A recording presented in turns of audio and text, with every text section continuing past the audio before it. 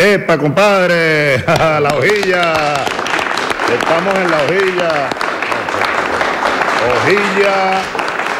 Hojilla. ¿Cómo es que dice la propaganda aquella, Nicolás? Hojilla raspapalante. Que duran hasta que aguante. Eh, Mario, ¿qué tal? ¿Cómo está la hojilla hoy, chicos? Anoche te estábamos viendo. Fidel no se pierde la hojilla. Rumbo al socialismo. Con Chávez, con Chávez. Todos somos sus hijos e hijas. El pueblo es el hijo de Chávez. Presidente, mensaje para la hojilla para la continuidad de... de- de- La hojilla, la hojilla. Bueno, la hojilla es el programa más visto de la televisión venezolana. Sin lugar a dudas. No lo digo yo, lo dicen los números. El programa con más credibilidad que hay. Y Mario Silva es un gladiador. Amado por el comandante Chávez. Mario Silva. Amado por Chávez. Valiente, gladiador. Inteligente gladiador. Él y todo su equipo. Así que honor a Mario Silva y a su programa La Hojilla, que en vida del comandante Chávez en este planeta, digamos, en vida terrenal, bueno, lo defendió con todo, pues, con todo, con los codos, con las uñas, con la verdad, con todo, siempre lo defendió. Gracias, Mario Silva, gracias, hermano. Prepárense.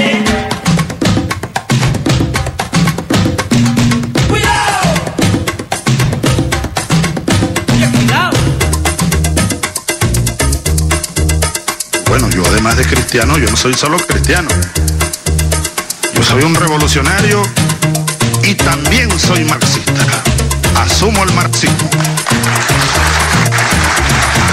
Evolución es sentido del momento histórico. Es cambiar todo lo que debe ser cambiado. Es igualdad y libertad plena. Se trata de solo de hablarlo y proclamarlo, hay que construir el socialismo. Nuestro socialismo en el siglo XXI, en Venezuela, en el marco de América Latina y en el marco de los acontecimientos mundiales.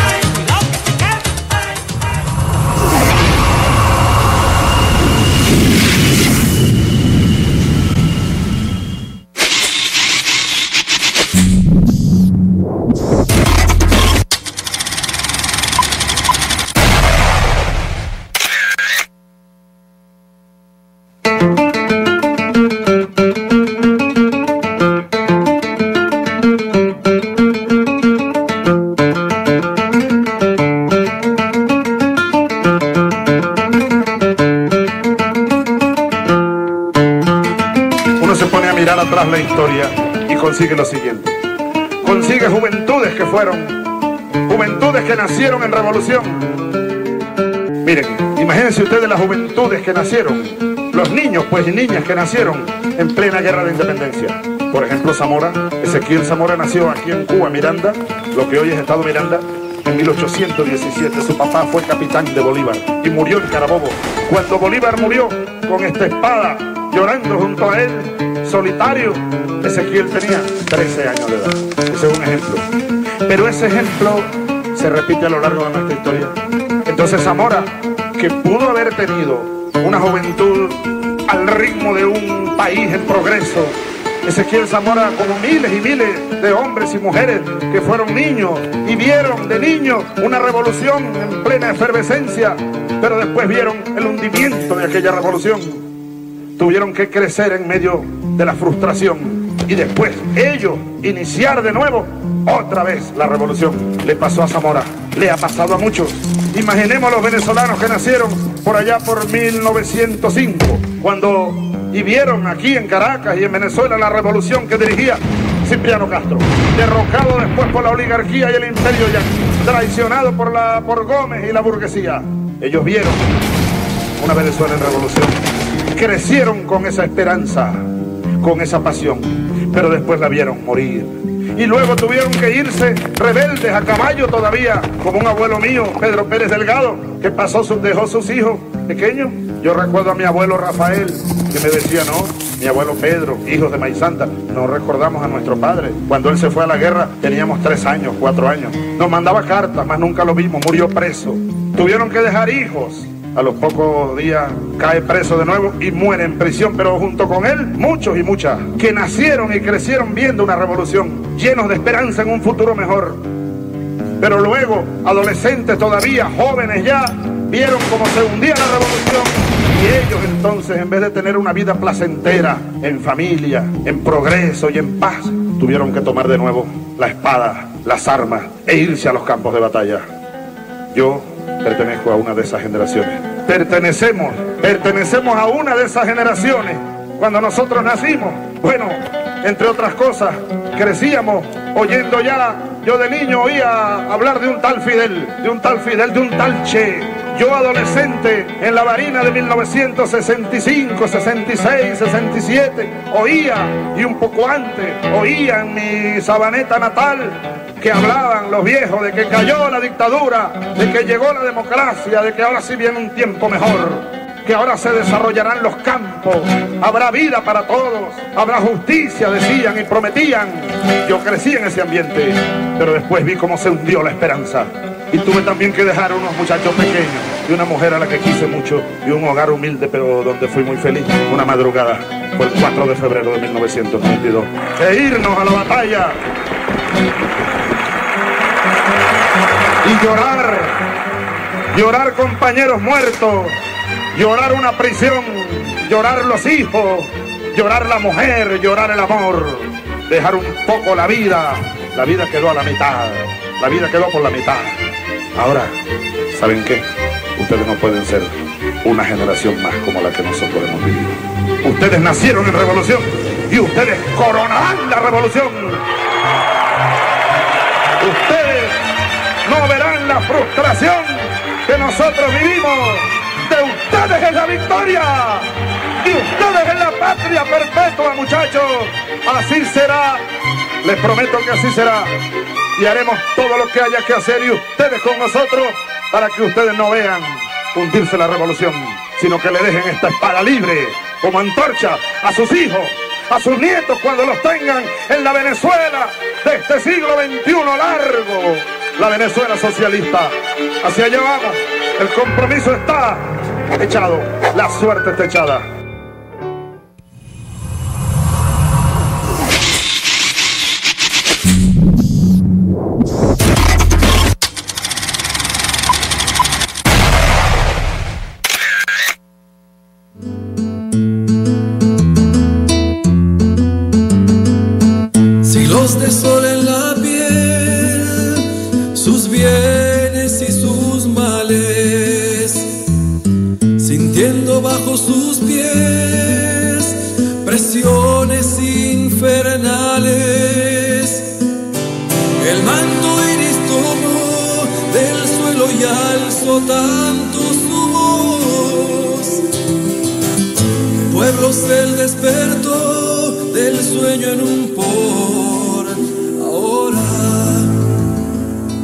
¿Cómo están todos? Bienvenidos a La Hojilla. Hoy estoy acompañado, muy bien acompañado.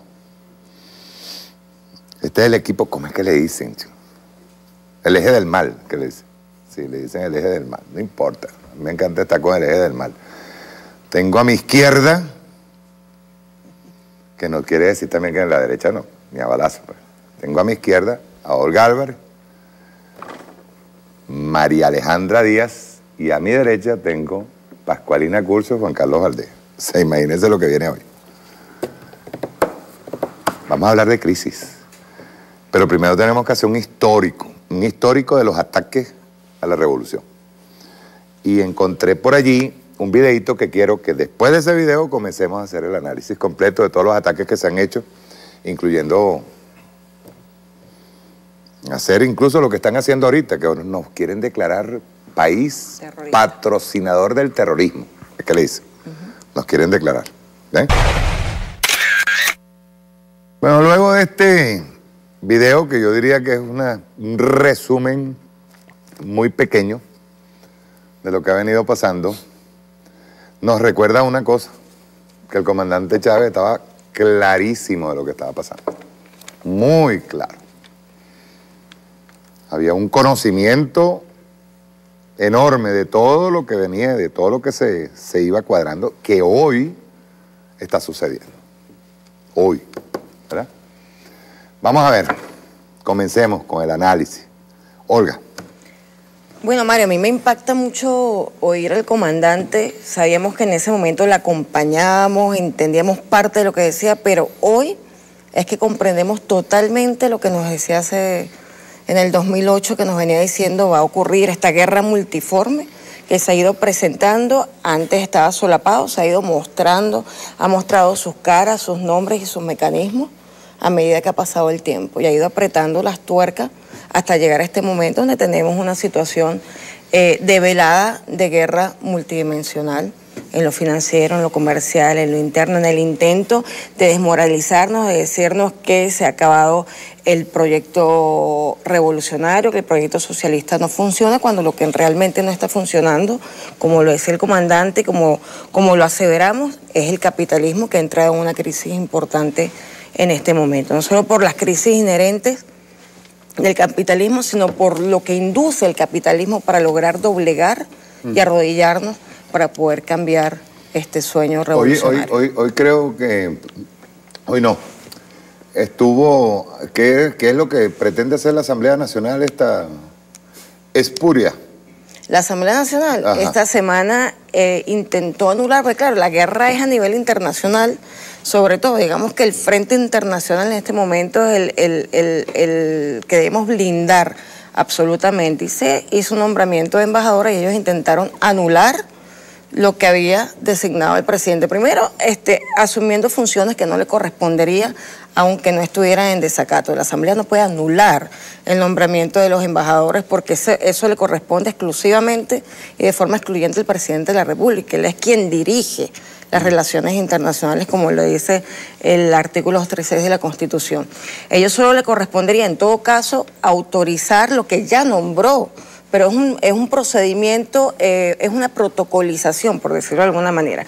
Por otro lado, el artículo 187 que habla de la autorización, este, hay que interpretarlo a la luz también de la ley orgánica del servicio, del servicio exterior. Ciertamente, la Constitución habla del nombramiento de los embajadores en misiones eh, permanentes diplomáticas, pero la ley orgánica del servicio exterior te diferencia de las misiones permanentes eh, diplomáticas de las embajadas, o sea que misiones permanentes serían solamente las multilaterales. El resto no necesita ningún tipo ni siquiera de protocolización. O sea, si ellos tienen dudas, pidan una interpretación a la sala constitucional. En todo caso, y en este momento constituyente hay otra situación, no solo ellos están en desacato, sino que hay una Asamblea Nacional Constituyente plenipotenciaria que pudiera asumir esa protocolización. Y por otro Nacional lado, Constituyente que están, este, que ya de una vez están diciendo que no existe. Igual para el 10 de enero dicen que se cumple el mandato del presidente. Claro. Bueno, eso pudiéramos también tocarlo, porque ya hubo una interpretación del artículo 23 231 por parte de la Sala Constitucional, que explica claramente este, cómo se da, qué trato se le da a un presidente que fue reelecto. ¿Ok? Porque la juramentación también es, una, es, una, es un formalismo no esencial en el caso de un presidente que está siendo reelecto, que ya está, eh, ya, ya está en funciones y ya tiene posesión del cargo, a diferencia de un candidato recién electo que tendría que juramentarse. De todas maneras, el 231 dice claramente, déjame buscarlo aquí, este, pero lo voy, lo voy comentando, ¿no? El 231 te dice claramente que de haber una situación sobrevenida en la Asamblea Nacional, que en este caso está en desacato, hay una situación sobrevenida, él se juramentaría ante el Tribunal Supremo de Justicia. Hizo. Pero vuelvo y repito, que pudiera ocurrir el 10 de enero, vuelvo y repito, hay una Asamblea Nacional Constituyente, es un momento muy especial en- dentro del- del- de, de nuestra vida constitucional y pudiera, sin, sin, sin, sin interpretación diversa, hacerlo ante la Asamblea porque él está subordinado en este momento como poder constituido a la Asamblea Nacional Constituyente. O sea, no hay duda alguna en teoría constitucional de lo que va a ocurrir el 10 de enero. No entendemos nosotros por qué este, bueno, se suman a este ataque, pero bueno, ya, ve- ya sabemos por dónde viene y vamos a hacer nosotros el trabajo de aclarar la situación y de hacer una campaña para desmentir lo que la derecha quiere argumentar para el 10 de enero. Pascualín. Sí, bueno, eh, la vigencia de las palabras del comandante Chávez en este momento, ¿no?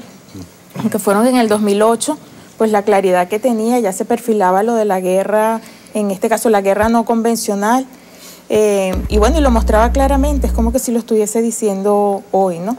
claro, ahora con mayor intensidad. Lo otro es comentar que cuando Obama dice que, que, somos una amenaza inusual y extraordinaria, nosotros sí somos una amenaza inusual y extraordinaria. Y somos una amenaza inusual y extraordinaria desde el año 99, no desde el año 2015. ¿Y por qué? Porque, bueno, llega, digamos, una revolución, nosotros siempre hemos tenido eh, los recursos que hemos tenido, las riquezas, el petróleo, el oro, pero a partir del año 99 se organiza todo un pueblo y decide que esas riquezas son eh, somos nosotros los que vamos a decidir qué vamos a hacer con esas riquezas. Y desde ese momento, justo desde ese momento, comienzan las agresiones. Comienzan con el, golpe de Estado, comienzan con el sabotaje petrolero, el paro patronal convocado por Fede Cámaras y la cúpula de, la CTV, y luego cambian la estrategia, esa era muy frontal, y a partir del 2007, que se marca en, en estas palabras del, del comandante Chávez en el 2008, comienza una estrategia encubierta todo lo que estamos viviendo ahorita del desabastecimiento, de, esta, manipulación del tipo de cambio, desde lo económico, ¿no? y también lo psicológico, lo comunicacional, como lo decía el comandante Chávez, comenzó el año 2007. Empezaron a ensayar con estos mecanismos. De hecho, en el referéndum eh, para la Constitución, cuando se convoca ese referéndum, ya había desabastecimiento, una cantidad de, mecanismos. ¿no? Bueno, han comenzaron con mayor intensidad desde el año 2013 lo que hay que decir es que además de tener de mayor intensidad, cada vez con mayor desespero. Y es por eso que, em, que está el decreto de Obama, se manifiestan que somos una amenaza inusual y extraordinaria, pero después surgen una cantidad de documentos donde ellos van develando su estrategia. Está el documento del Freedom 2, allí lo trajimos, que es uno, un extracto de... Em, Aquí está. Planes de la guerra no convencional, Venezuela Freedom 2. Vamos a ver si puedo verlo pantalla completa, pero automático. Bueno, vamos a verlo aquí mismo, aquí lo tiene. Planes de la guerra no convencional, este es Venezuela Freedom 2 Operation, almirante Kurt Titz, jefe del Comando Sur, 25 de febrero de 2016. Dice, la operación Venezuela Freedom 2 en los actuales momentos descansa en nuestro comando, pero el impulso de los conflictos y la generación de los diferentes escenarios es tarea de las fuerzas aliadas de la MUD involucradas en el plan. Eh, por, por eso nosotros no asumiremos el costo de una intervención armada en Venezuela, sino que emplearemos los diversos recursos y medios para que la oposición pueda llevar adelante las políticas para salir de Maduro. Esto fue en 2016. 16, ellos escribieron, o sea, mostraron públicamente cuáles eran sus planes, en este caso ese documento del Freedom 2, y luego ahorita en febrero del 2018, que creo que es la lámina siguiente. Este, 25 de febrero de 2016, Venezuela Freedom 2, Operation Almirante Kur Estetit.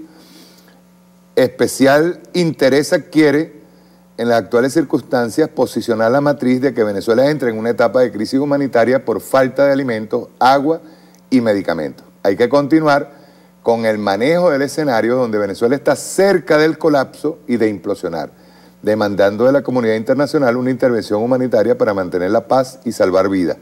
Doctrinariamente hay que responsabilizar al Estado y su política controladora como causal del estancamiento económico, la inflación y la escasez. Eso siguió siendo ese es el mismo documento Freedom 2 y luego ahorita en el 2018, que es la siguiente, ellos tracto solo de Sigue siendo Curtit.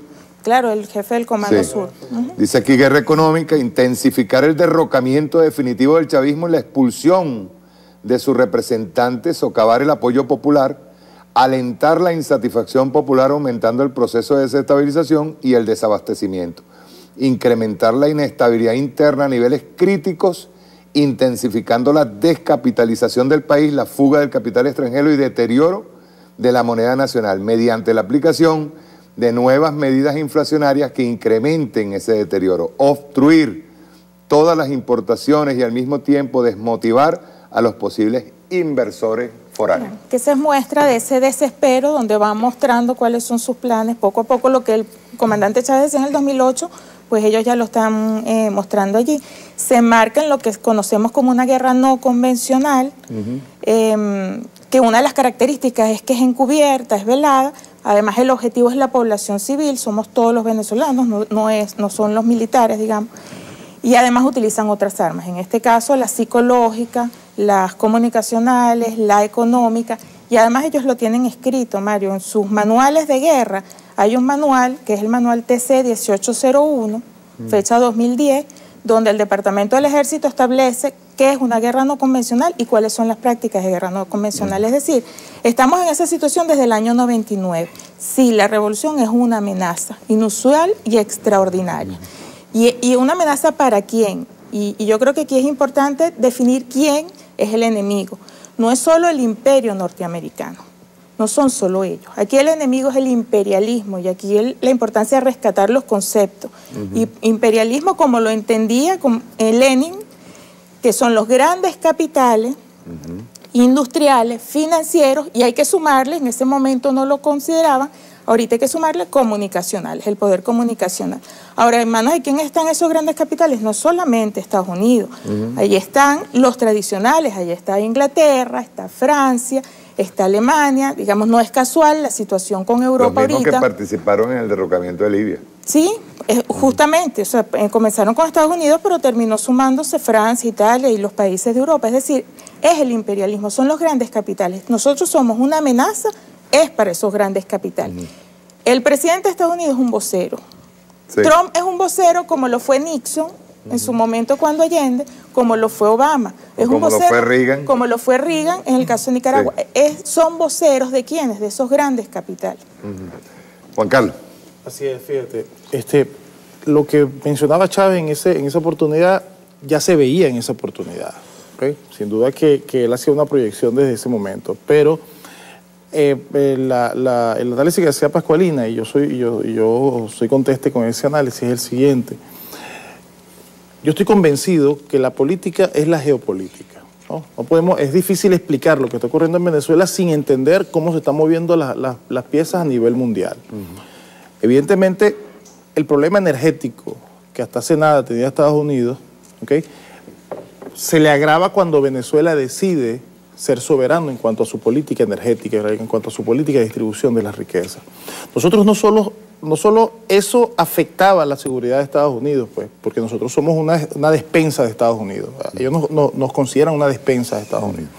Y eso ya en sí lo, lo está afectando. Pero luego, lo que, las políticas que empieza a desarrollar el presidente Chávez a partir de 1999, 2000 específicamente, cuando casi todas las variables sociales estaban en positivo y se veía claramente un desarrollo social, o sea, e- ese, ese saldo, ese, esa, deuda social que, estábamos, que estaba pagando el presidente Chávez, se estaba demostrando, estaba demostrando en la práctica que, que las riquezas se pueden distribuir de manera justa. Y estábamos demostrándolo en un pequeño país de Sudamérica, pues. Eso se convierte, Mario, se convirtió en un ejemplo muy malo para el capitalismo mundial. ¿ok? Porque en un, en un mundo donde, según la FAO, hay, hay alimentos para casi dos veces la población de la Tierra, ¿ok? y que más de la mitad de la población del mundo esté en estado de pobreza y que cada 30 segundos muera alguien de hambre, ese ejemplo que estaba dando Venezuela afectaba al capitalismo mundial. Y el capitalismo mundial agarró y empezó a arremeter contra nosotros. Una de las cosas que mencionaba el presidente Chávez y que nosotros tenemos que, en este momento, que tenemos que estar muy, a- muy ojo avisor de eso, es la pretensión de dividirnos y desmoralizarnos. Lo cierto, han logrado parte de eso. Han logrado parte de, de la división y han logrado parte de la desmoralización de parte de, de- de alguna, de alguna... Incluso de direccionar, incluso el efecto de direccionar siempre la, la culpa hacia el presidente de la República. Claro, eso, eh, eso, eso es típico en, lo- en lo- en la- en las operaciones psicológicas. Pero hay otro elemento que también mencionaba el presidente Chávez, los infiltrados. Él decía, nos infiltran. Lo mencionaba infiltran gente. ¿ok? Bueno, por sus actos los reconoceréis. Por su, por su, por su. Y, yo estoy seguro ¿ok? que hemos venido dando una batalla. Y aquí no se trata de, de- de- de quienes nos creemos más de izquierda que todo el mundo. No, yo lo, lo- repito lo que dije hace un segundo. Por sus actos los reconoceréis. Hay una cosa que dice que este, la teoría debe ir acompañada de la de la práctica. práctica. Así es. O sea, cuando yo digo, cuando yo no creo en el liberalismo, pero digo, nos salvamos con las herramientas del liberalismo, a caramba. Entonces la, la cosa se pone extraña. María Alejandra. Bueno, fíjate, eh, Chávez fue, lo sigo repitiendo, como lo decía Almadinella, un plan para salvar la humanidad. La obra de Chávez todavía no ha sido eh, valorada en su justa dimensión, no solo desde el punto de vista geopolítico, sino desde la doctrina interna, su capacidad de insurgir contra el hegemón mundial. Porque en realidad yo rescato la idea de Pascualina, que nosotros venimos insistiendo en ello, el tema con Venezuela no es desde 2013 que gana el presidente Maduro. Eh, se acrecienta a partir de ese momento. Pero hay que hacer como un recorrido histórico. En 1999, Chávez llega con el poder, además empujado por los medios de comunicación y por los empresarios, que creyeron que iban a poder dominarlo. Creyeron que se lo iban a Chávez lo hacer. explicó incluso. Eso, lo- eso- yo estoy recurriendo a, la- a las propias palabras del presidente Chávez.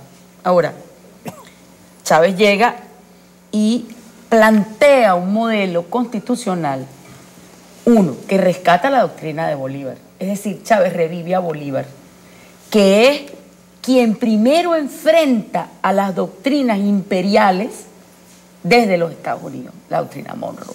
Es el primer conflicto, la primera tensión.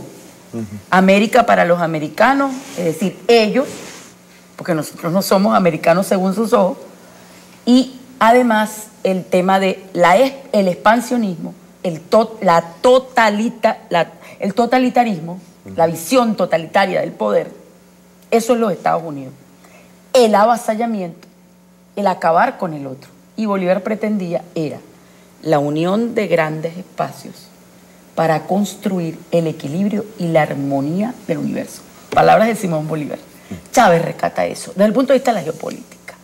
Habla de la, de la multipolaridad, cuando ya se había determinado el fin de la historia. Hay que recordar eso. Se acabó la historia, se acabó el socialismo, se acabó la alternativa. Y Chávez les dice, mira, no todo está dicho. La última palabra no está dicha y aquí estamos nosotros. Y revive en el mundo la lucha histórica por los derechos de la gente. Y se centra además en recuperar la historia de Bolívar, la doctrina de Bolívar, la doctrina de que los recursos son de la República, pero además que el papel del Estado, fíjate lo, lo trascendental, el papel del Estado en el reparto de esa riqueza. Porque nos han querido vender que lo malo es que el papel, el, el Estado intervenga. Fíjate, ahorita, hay que decirlo además, hay una regresión con respecto al tema del papel del Estado. Porque el Estado, el Estado democrático, social, de derecho y de justicia es un Estado interventor para equilibrar ¿eh? las desigualdades que se generan de la acumulación del capital por parte de la oligarquía criolla. Es histórico. Entonces, Chávez pone el centro, el punto en el centro del conflicto. ¿Qué es el conflicto? Por la renta. ¿Quién distribuye mejor entonces la renta? ¿El mercado o el Estado? Y Chávez les demuestra que quien puede distribuir mejor esa renta es el Estado. Y le devuelve la visión a millones de personas. Y le devuelve la posibilidad de leer y escribir. Y le devuelve la posibilidad de tener vivienda. Y le devuelve la esperanza. Y le devuelve la alegría. Y nos devuelve el orgullo de ser venezolano. Y le devuelve la dignidad al pueblo venezolano con la capacidad de que la gente andara con la cabeza en alto diciendo con mucho orgullo, yo soy venezolano y además chavista. Eso hace Chávez. Chávez se convierte entonces en el contrapoder que enfrenta al modelo globalizador totalizante. Eso es lo que pasa. Ese conflicto está vivito y coleando porque ellos planifican y asesinan a Chávez. Eso se va a saber, ¿saben? En algún momento. Y quienes además colaboraron con la muerte del presidente Chávez, con el asesinato del presidente Chávez. Cada día está más cerca de saberse eso. Y cuando eso pase, se van a caer muchas caretas. Solamente puedo decir eso. Hugo Chávez fue asesinado en un plan para acabar con la revolución bolivariana.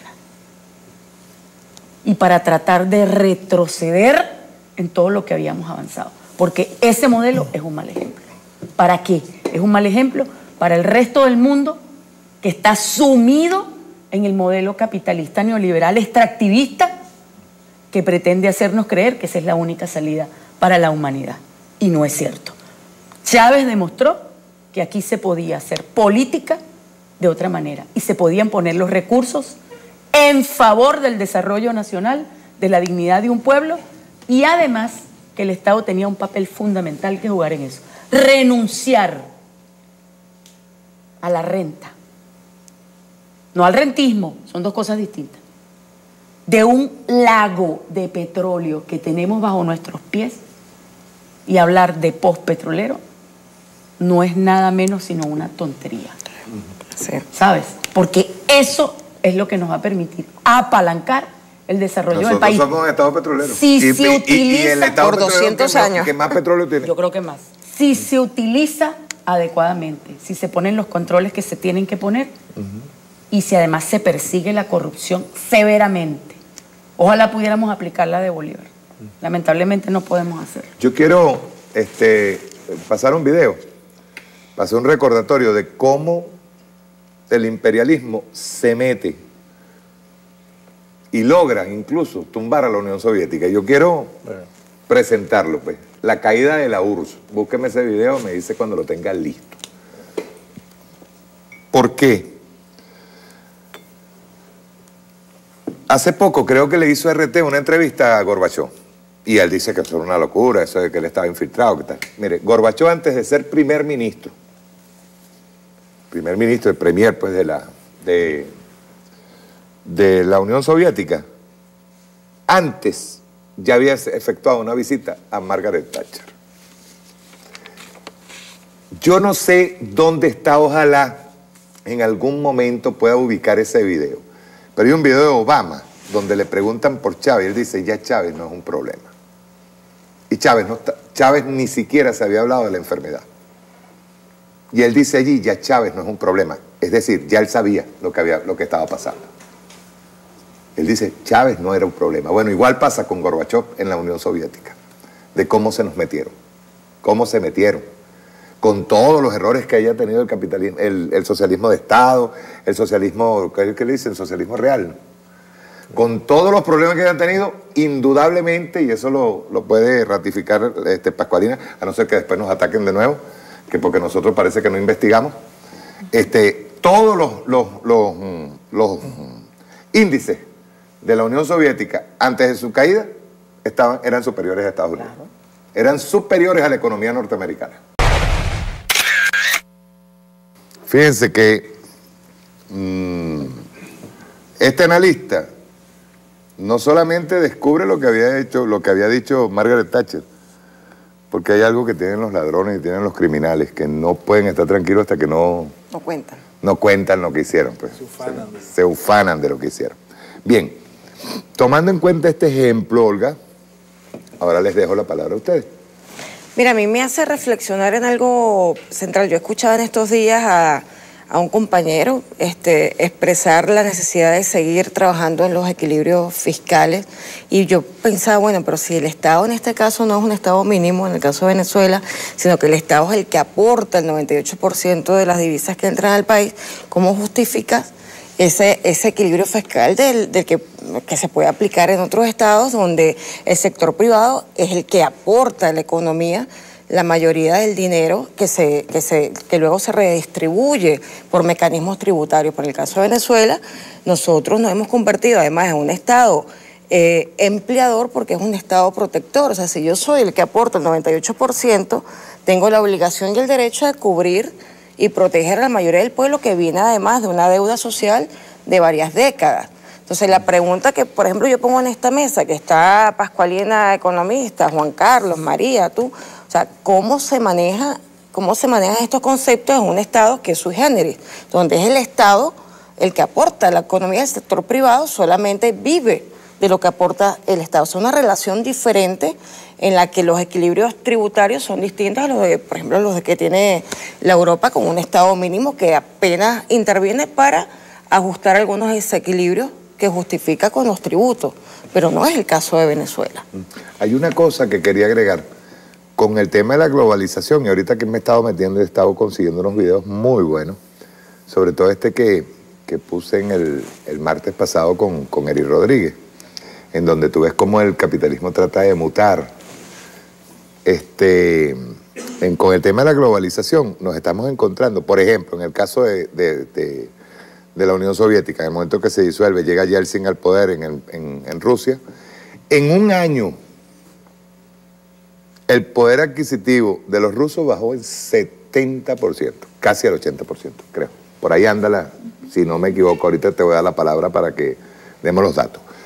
Es decir, el neoliberalismo que aplicaron en, en Rusia después de la división, que obviamente se, se provoca, y se provoca desde el seno del, del estado, del Estado soviético, Fue interno. fue interno. Un Fue- plan de demolición un interna. plan de demolición interna. En un año se destruyó. De hecho, esos datos que tú vas a dar ahorita, todavía avanzado el tema de la desintegración de la Unión Soviética, esos datos seguían siendo, estaban vigentes. Lo que pasa es que después, con el tema del neoliberalismo y con Yeltsin y todo esto, se aplica el, neoliberalismo de tal manera, tan feroz, que incluso un año después se le pregunta, empezaron a encontrarse, cosa que nunca había pasado en la Unión Soviética, gente y pobres en, la- en las calles pidiendo, este, pidiendo limosna, cosa que nunca se había encontrado. No solamente eso, sino gente pasando hambre. Y cinco años después, casi el 90% de la población rusa, no estamos hablando del, del resto, estaba pidiendo el regreso del Partido Comunista, añorando el Partido Comunista. Este, Pascualina. Sí, bueno, en el caso de la Unión Soviética, eh, algún paralelismo con lo que pretenden en el caso de Venezuela, ¿en qué sentido? Que generan una situación en el marco también de prácticas y agresiones, una guerra no convencional desde el punto de vista económico, pero con el discurso que eh, con el discurso que plantea que la culpa es del modelo que fracasó. Es decir, en el caso de la Unión Soviética, que se decía, bueno, fracasó el modelo socialista. Allí la primera pregunta que uno debería, incluso intelectuales, incluso de izquierda en Europa, confundidos decían que fracasó el modelo socialista de la Unión Soviética. Allí la primera pregunta es, bueno, ¿cómo es que fracasó después de 70 años? ¿no? La primera pregunta que uno se hace, porque desde 1917 hasta 1988, bueno, ¿y qué pasó durante esos 70 años? Eso es la primera pregunta. Y luego los indicadores. Los indicadores, hay un, un autor eh, que se llama Sergi Karamursa, que, que escribió un libro, el libro blanco, así lo titula, y en ese libro él muestra todos los indicadores de la Unión Soviética antes y después de 1988. Entonces, por ejemplo, eh, antes de, de la disolución de la Unión Soviética, el Producto Interno Bruto creció 378%. Antes, de Antes, la disolución. Sí, durante, todo, durante toda la Unión Soviética. Cuando se disuelve la Unión Soviética, cae inmediatamente el Producto Interno Bruto casi 50%. Entonces ahí uno se pregunta, bueno, ¿cuál fue el, en términos del PIB, cuál fue el modelo fracasado? Y luego allí muestra una cantidad de indicadores. Por ejemplo, en el caso de la educación, el analfabetismo, cuando en 1959 era de casi el 80% el analfabetismo, ya, eh, perdón, en, en 1890 era el 85%. Y en 1959 era el 1%. Ya para 1963 erradicaron el analfabetismo. Eso es un indicador de salud. La inversión de la Unión Soviética, la inversión de capital, eh, durante la década de los 80 era superior a la inversión de Estados Unidos. Eh, de hecho, eh, Margaret Thatcher reconoce en su discurso que el modelo socialista es mejor que el modelo Que es capitalista. un peligro para Que Es ellos. un peligro porque es mejor y han demostrado que es un mejor modelo, no solamente en términos de- sociales, sino económicos, ¿no? Exacto. en general. Bueno, durante la Gran Depresión, eh, la Unión Soviética no tuvo desempleo, por el contrario, tuvo pleno empleo y se mantuvo ese pleno empleo hasta la de- década de, del los año 80. 29, 30. Sí, Ok. Cuando la mayoría de los países del mundo en esa situación pues vivieron un, desempleo importante. Y así indicadores de salud, por ejemplo, aumentaron la esperanza de vida de 40 años a 70 años. Y cuando se disuelve la Unión Soviética cae 5 años la esperanza de vida inmediatamente. Todos esos indicadores son mostrados por eh, por, este, por este autor tomados de las fuentes estadísticas del INE, o sea, digamos, del Instituto de, Estadísticas de la Unión Soviética. Entonces ahí uno se pregunta, bueno, ¿cuál era el modelo fracasado? ¿Qué ocurrió?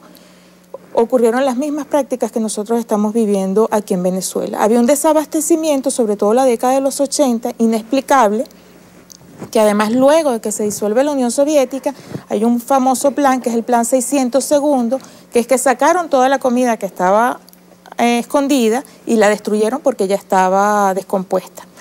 Eh, entonces era inexplicable porque además nunca cayeron los niveles de producción en la Unión Soviética de alimentos, por el contrario, aumentaba, pero no estaban los alimentos en los anaqueles. Y también hubo un fenómeno similar de una brecha cambiaria entre el tipo de cambio oficial y un tipo de cambio ilegal, que era el, eh, en, ese, en, este caso el rublo. Entonces había una distorsión también allí por la vía del el ataque a la moneda. Parecido a lo de la República de Weimar. Sí. O sea, siempre se repitió, por cierto.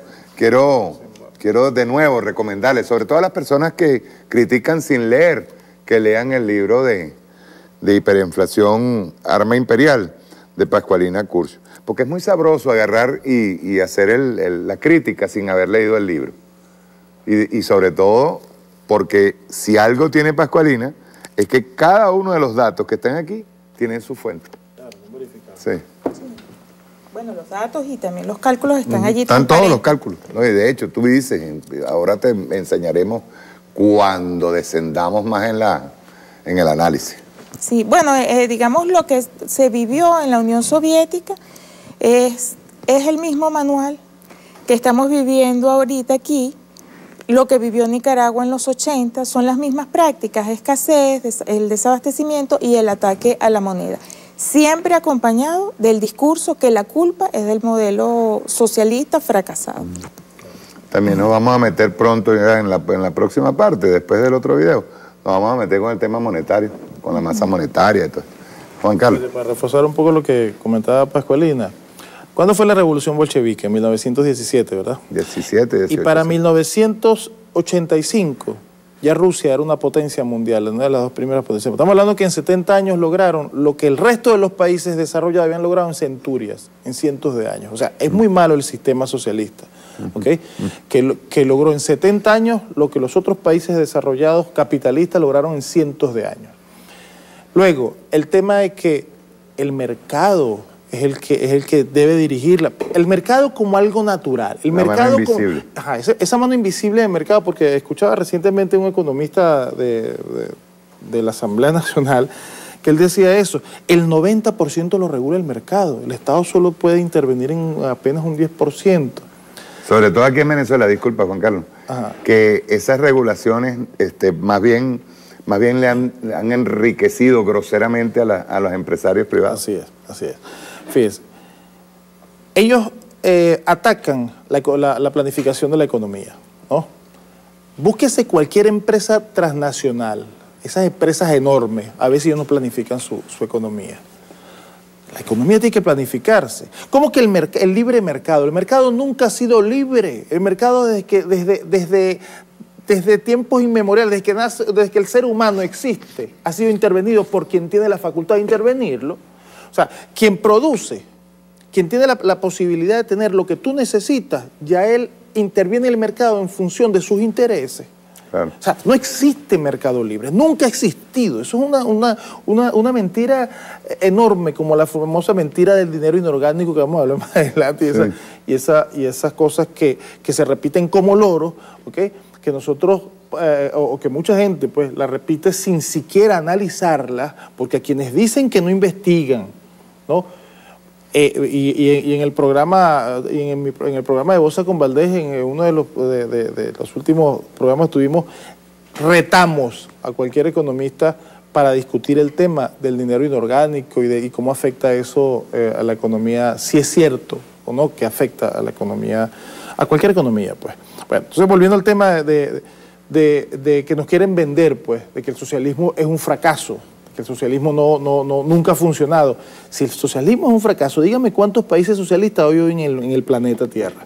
Y pregunten cuánta, cuántos, cuánta pobreza hay en el mundo. Si, si, mira, no hay, actualmente, estuve buscándolo, estuve averiguando, no hay no más de siete países que se autodefinen socialismo.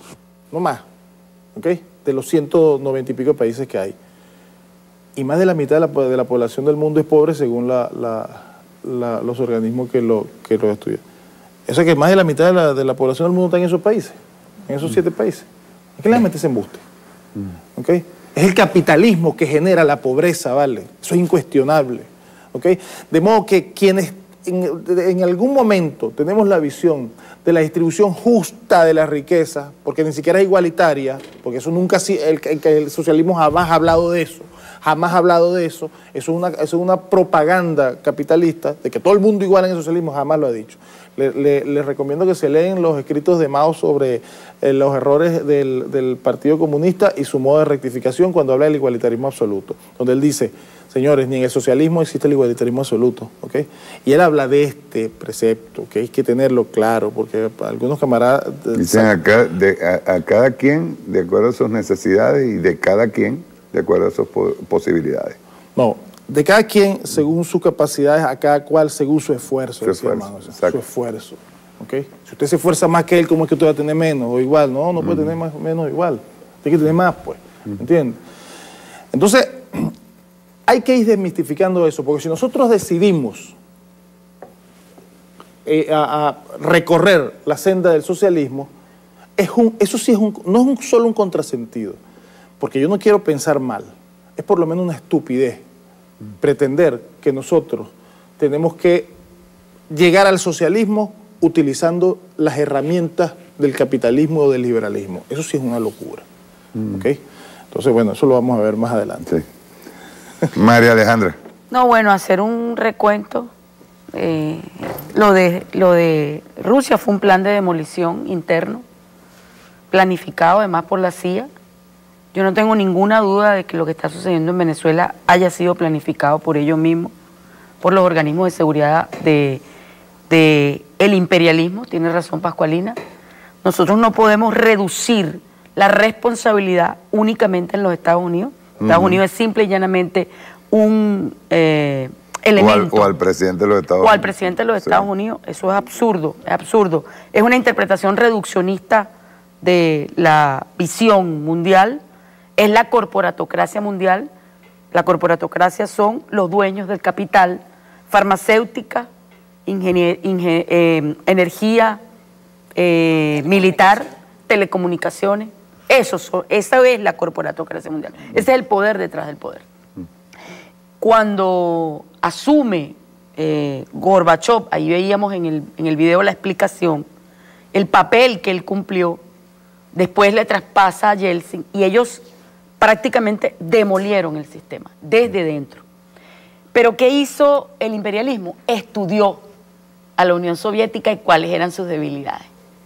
Y se centraron en ese ataque. Es lo mismo que están haciendo con Venezuela. ¿Cuáles son las debilidades? La debilidad institucional, yo sigo insistiendo en el tema del Poder Judicial porque tiene que ser vertical, no puede haber república si no hay un Poder Judicial saneado, fuerte, decente, honorable. Y lamentablemente eso no lo hemos alcanzado. Y por eso insisto en la intervención desde la Asamblea Nacional Constituyente del Poder Judicial, aunque no le guste mucho. Como yo no vine aquí a ser amigos, yo vine a hacer revolución, yo lo digo por la calle del medio, ¿ves? O sea, pues si lo disfrazamos, seguimos en el mismo tema.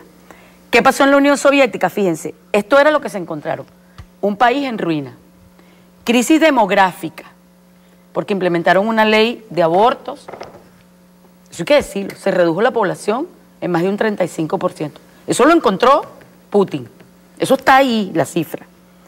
Graves crisis de salud pública, caída acelerada de la economía, tensiones sociales in- in- insostenibles, fracturas territoriales, tema de Chechenia, emigración masiva.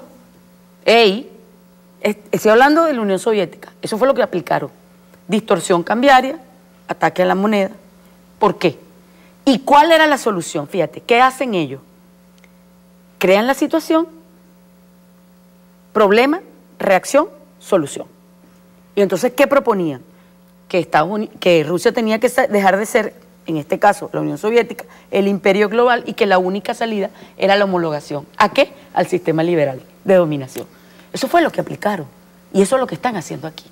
Porque cuando tú atacas al corazón de quien produce la renta y quien le permite apalancar el Estado social, el Estado democrático, social, de derecho y justicia y redistribuir la renta, tú atacas a PDVSA, atacas la producción petrolera y sigues demoliéndola porque la producción no se ha recuperado. Esa es la preocupación que tiene el presidente Maduro y la tenemos todos los venezolanos. Es un plan premeditado de demolición. Y Chávez lo vio. ¿Sabes? Chávez lo vio porque Chávez planificó, Juan, para estos tiempos. Y dejó fábricas de fábrica. Y dejó la, la- la siembra, planes de siembra, planes de industrialización. ¿Qué hicieron con eso? Laboratorios. laboratorios completos de genética para que fuéramos autosuficientes, soberanos, de verdad, verdad, porque la soberanía es poder de decisión. ¿Y qué hicieron? Así, lo demolieron. Pero ¿qué atacaron? Fíjate, ¿qué atacaron? Nuestras debilidades. La debilidad institucional, empezando por el Poder Judicial, sistema de justicia, pues no el Poder Judicial solamente, el sistema de justicia. Fiscalía, Defensoría, Poder Judicial, pero además el tema de la corrupción, que es un tema endémico. Un tema endémico, por ahí se metieron. Entonces tú ahí ves a los de convoy, por la calle del medio lo estoy diciendo, porque qué sabroso es que tú sigas recibiendo dólares preferenciales a 60 y los negocias a 300. Eso está sucediendo en este momento. ¿Quién va para esa sangría de la biti- bicicleta cambiaria? No quiero meterme más en ese tema porque es un tema de los especialistas, pero allí tú tienes elementos que te pueden eh, determinar que ese mismo plan que le aplicaron a la Unión Soviética en su momento lo están y que se lo aplicaron a Alemania y que se lo aplicaron a Nicaragua lo están aplicando en Venezuela. ¿Por qué? Y ellos, necesitan, ellos necesitan que Venezuela caiga. pero espérate, pero además con los quinta columna. O sea, no se nos olvide. Esto no es sino, esto no se hace posible si no hay cómplices, esquiroles y traidores internos que están trabajando para esto. Así es claro, lo digo. Vamos a ver si me hacen caso de arriba en la dirección, ¿verdad? Y me consiguen una canción de Carlos Puebla que dice El vino. O sea, dice, así el vino, Nuestro vino de nuestro plátano. vino sea, nuestro vino de plátano sea amargo, es nuestro vino. Y si sale amargo, es nuestro Ajá. vino. Y eso es la clave de la revolución bolivariana, que es el respaldo popular. Primero, porque está, eh, eh, independientemente de, de la cuestión de la memoria, esta revolución eh, está apoyada por el pueblo desde el principio. No solamente el hecho de que tiene el espíritu de, de Chávez, Claro. Sino que sabe lo que pasó en el año 92. Ahí yo creo que la memoria no se ha quebrado. Y no se ha quebrado porque uno, se- uno vive recordando también. Bien, Pascualina, este, voy a ata- ata- atacarte aquí con la hiperinflación. Un libro que no lo han leído los críticos, pero cómo lo critican y no lo han leído. De paso, me lo firmó. Orgullosísimo. de haberme firmado, hasta me puso una paloma de la paz por aquí. Y un sol. Muchas gracias. Bueno. Pascualina, ve. eh, fórmulas en que están atacando ahorita. Incluso nosotros hicimos una advertencia hace, hace unos meses.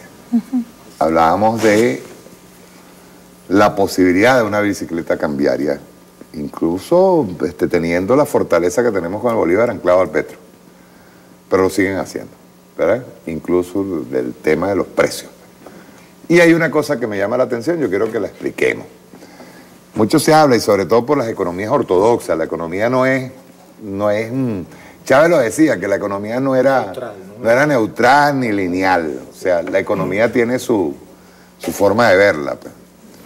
Este, el tema, muchos acusan de el exceso en la calle de, de dinero. de dinero. Entonces, vamos a entrarle ya al tema frontal, pequeño, al, al tema que nos, nos compete a todos los venezolanos. Sí. Bueno, ah, eh, digamos, ese es el, el tema del dinero inorgánico y la cantidad de dinero, bueno, es un aspecto importante eh, para analizar. Yo antes de eso, Mario, un comentario del, del del video que pasaste, además interesantísimo, cada frase da para un análisis completo porque, bueno, tocó muchos temas, pero regresar a est- a este asunto del, modelo, del supuesto modelo fracasado. Y él mencionaba que en la década de los 70, och- sobre todo 80 y 90, pues entonces se eh, perfilaba un modelo que decían que iba a ser exitoso y nosotros lo vivimos los venezolanos, pero un modelo basado en el consenso de Washington, un capitalismo, eh, un capitalismo salvaje neoliberal. Pero entonces ahí uno se pregunta cuál modelo fue el que fracasó. Y por eso un poco allí la, la lámina que te... Este, que- Producto sí, Interno Bruto versus, pobreza. que un poco lo tocaban allí en el video. Explícamelo allí. Porque fíjate, en el 99 se rompe un paradigma. Chávez rompe un paradigma desde el punto de vista económico, del modelo económico y social. Incluso en la agenda bolivariana, en el año 96, él escribe algo así como, ¿cómo es que nosotros vamos a dar priori- prioridad a los equilibrios fiscales y monetarios cuando tenemos una cantidad de gente muriendo de hambre? Y el paradigma, ¿cómo lo rompe? ¿En qué consiste? Él coloca los equilibrios macrosociales por encima de los equilibrios económicos. No es que los económicos no sean importantes, pero los coloca, eh, digamos, le da prioridad. Y, eso, y ese es, es, digamos, el principal elemento del cambio del modelo. Entonces, en esa lámina se muestra claramente, la que tienes allí, Ujú. que está desde el año 80 hasta el año 2015. 80 hasta el, do- hasta el 98 y después el 2015. 2015. Ajá. Y hay una línea azul que está allí, que es el Producto Interno Bruto. Está apareciendo en azul para que no... Ok, En azul y en, está en la otra en rojo. en rojo. Bueno, ese es el Producto Interno Bruto en Venezuela.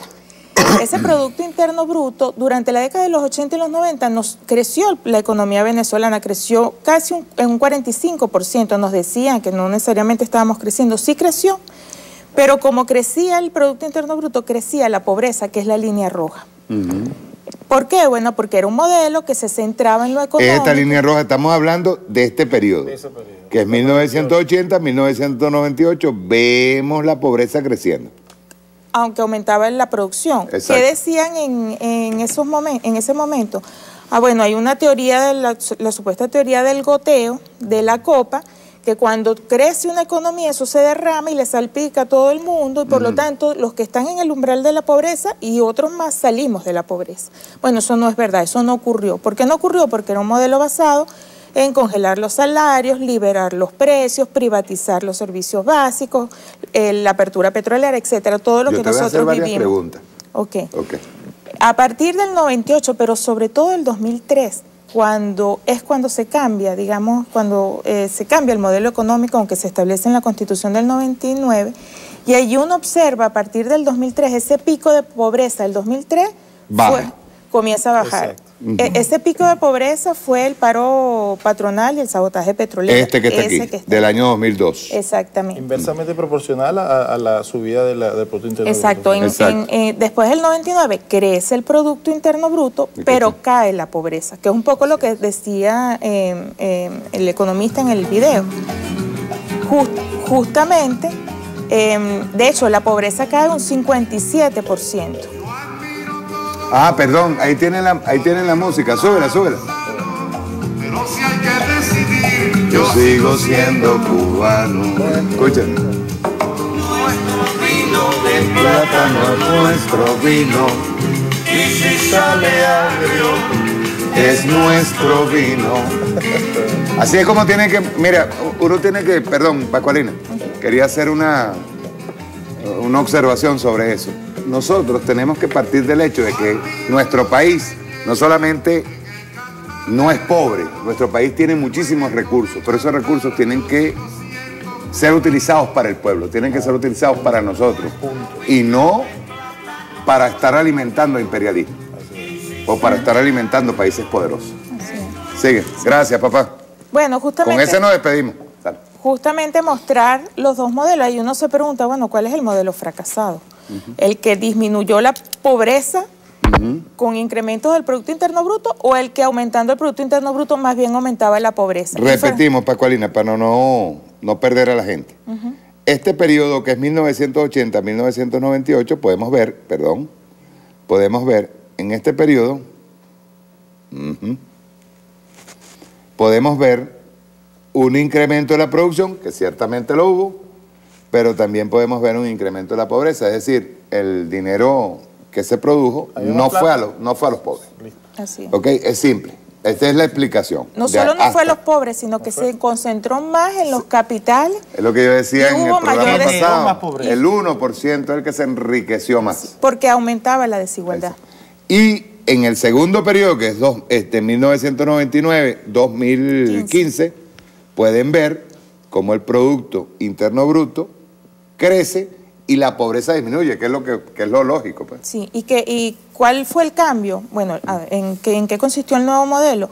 Entre otras razones, un poco lo que se escuchaba en el, en el video, los recursos, los ingresos, en nuestro caso por concepto de petróleo, se distribuyen para, digamos, de forma más igualitaria para toda la población, para cubrir la deuda social. ¿Y cómo, por qué se hace eso? Se hace eso a partir del 2003, cuando se establece el control cambiario, cuando el presidente Chávez dice, este ingreso petrolero lo voy a utilizar para el pueblo venezolano. Y en ese sentido es que se, eh, se distribuye de forma más igualitaria el ingreso por concepto de petróleo para la producción, para la producción nacional, etcétera. Además de políticas como ajustar los salarios, eh, controlar los precios. Yo quiero hacerte una pregunta ahorita. Te voy a provocar. Tú sabes que desde que se subió a 1.800 bolívares soberano, que dicho sea de paso, el presidente pagó los tres meses, ¿cierto? Se le pagó los tres meses a los, a los empresarios. Primero, se le pagó tres meses sabiendo que estos empresarios se, con esta crisis se enriquecieron groseramente, ¿verdad? Ellos a- aluden que el salario en 1.800 bolívares soberano los va, los va a quebrar, pues. ¿Por qué? Prestaciones, que dicho sea de paso son logros sociales, pues, ¿verdad? Pero después de haberse enriquecido groseramente, tú agarras y le dices, epa, mira, 1.800 y que se suponía, se supone, supongo, tiene que ser así, que ese salario tiene que ir subiendo de acuerdo a esa bicicleta cambiaria que nos, van a- nos están imponiendo, ¿cierto? Ok, Debería. debería, es así. Y ahora, pregunto, ¿ellos están perdiendo, Pascualina? No.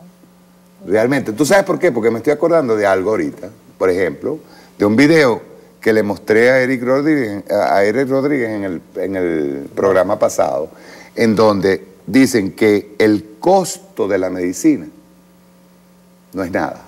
Es decir, que deberíamos de dársela gratuita al mundo. ¿Verdad? Que lo que cuesta son los litigios por las patentes y lo que cuesta es la publicidad y el marketing. ¿Verdad? Entonces, pregunto, ¿hay pérdida por parte del sector privado en el momento en que se incrementen los salarios? No, Mario, porque el rezago en ese momento, el 20 de agosto, el- la diferencia entre los precios y los salarios era una brecha muy importante. Estamos hablando de una brecha de casi esclavitud. Sí. ¿Cuánto eran? ¿Dos millones y medio el salario? Tres millones, tres Sí, millones. tres Tres millones. Tres millones con, eran- con, eran con, millones con Sí, millones Tres millones de bolívares cuando hubo incluso sectores privados que llegaron a pagarle 80, 90 millones de bolívares a un, a un empleado normal. Sí. Bueno, no, pero es que no, no pierden, porque hay una relación que es en- entre el precio, el salario y la ganancia. En el momento en que el precio y el salario, se abre una brecha entre el precio y el salario, la diferencia dónde va, va a la ganancia. Eh, nosotros colocábamos en algún momento un ejemplo para principios de agosto, por ejemplo, eh, una persona que trabaja en una panadería. Tiene que trabajar 22 días, ¿verdad? La- los 22 días legales para, en una panadería. Lo que percibía de salario no le alcanzaba para comprar cinco panes, de los mismos panes que él producía, trabajando 22 Estaba días. recordando el ejemplo que puso Valdés del queso.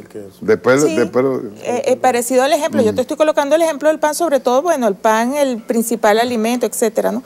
Entonces, allí está toda esta relación del valor de la fuerza de trabajo, el salario que percibe el trabajador con respecto al precio. ¿Dónde está la diferencia? La diferencia está en la ganancia. En ese momento, cuando se ajustan los salarios, eh, los dueños del capital no pierden. Lo, que van a, lo que va a ocurrir es que se reduce el margen de la ganancia, pero no pierde.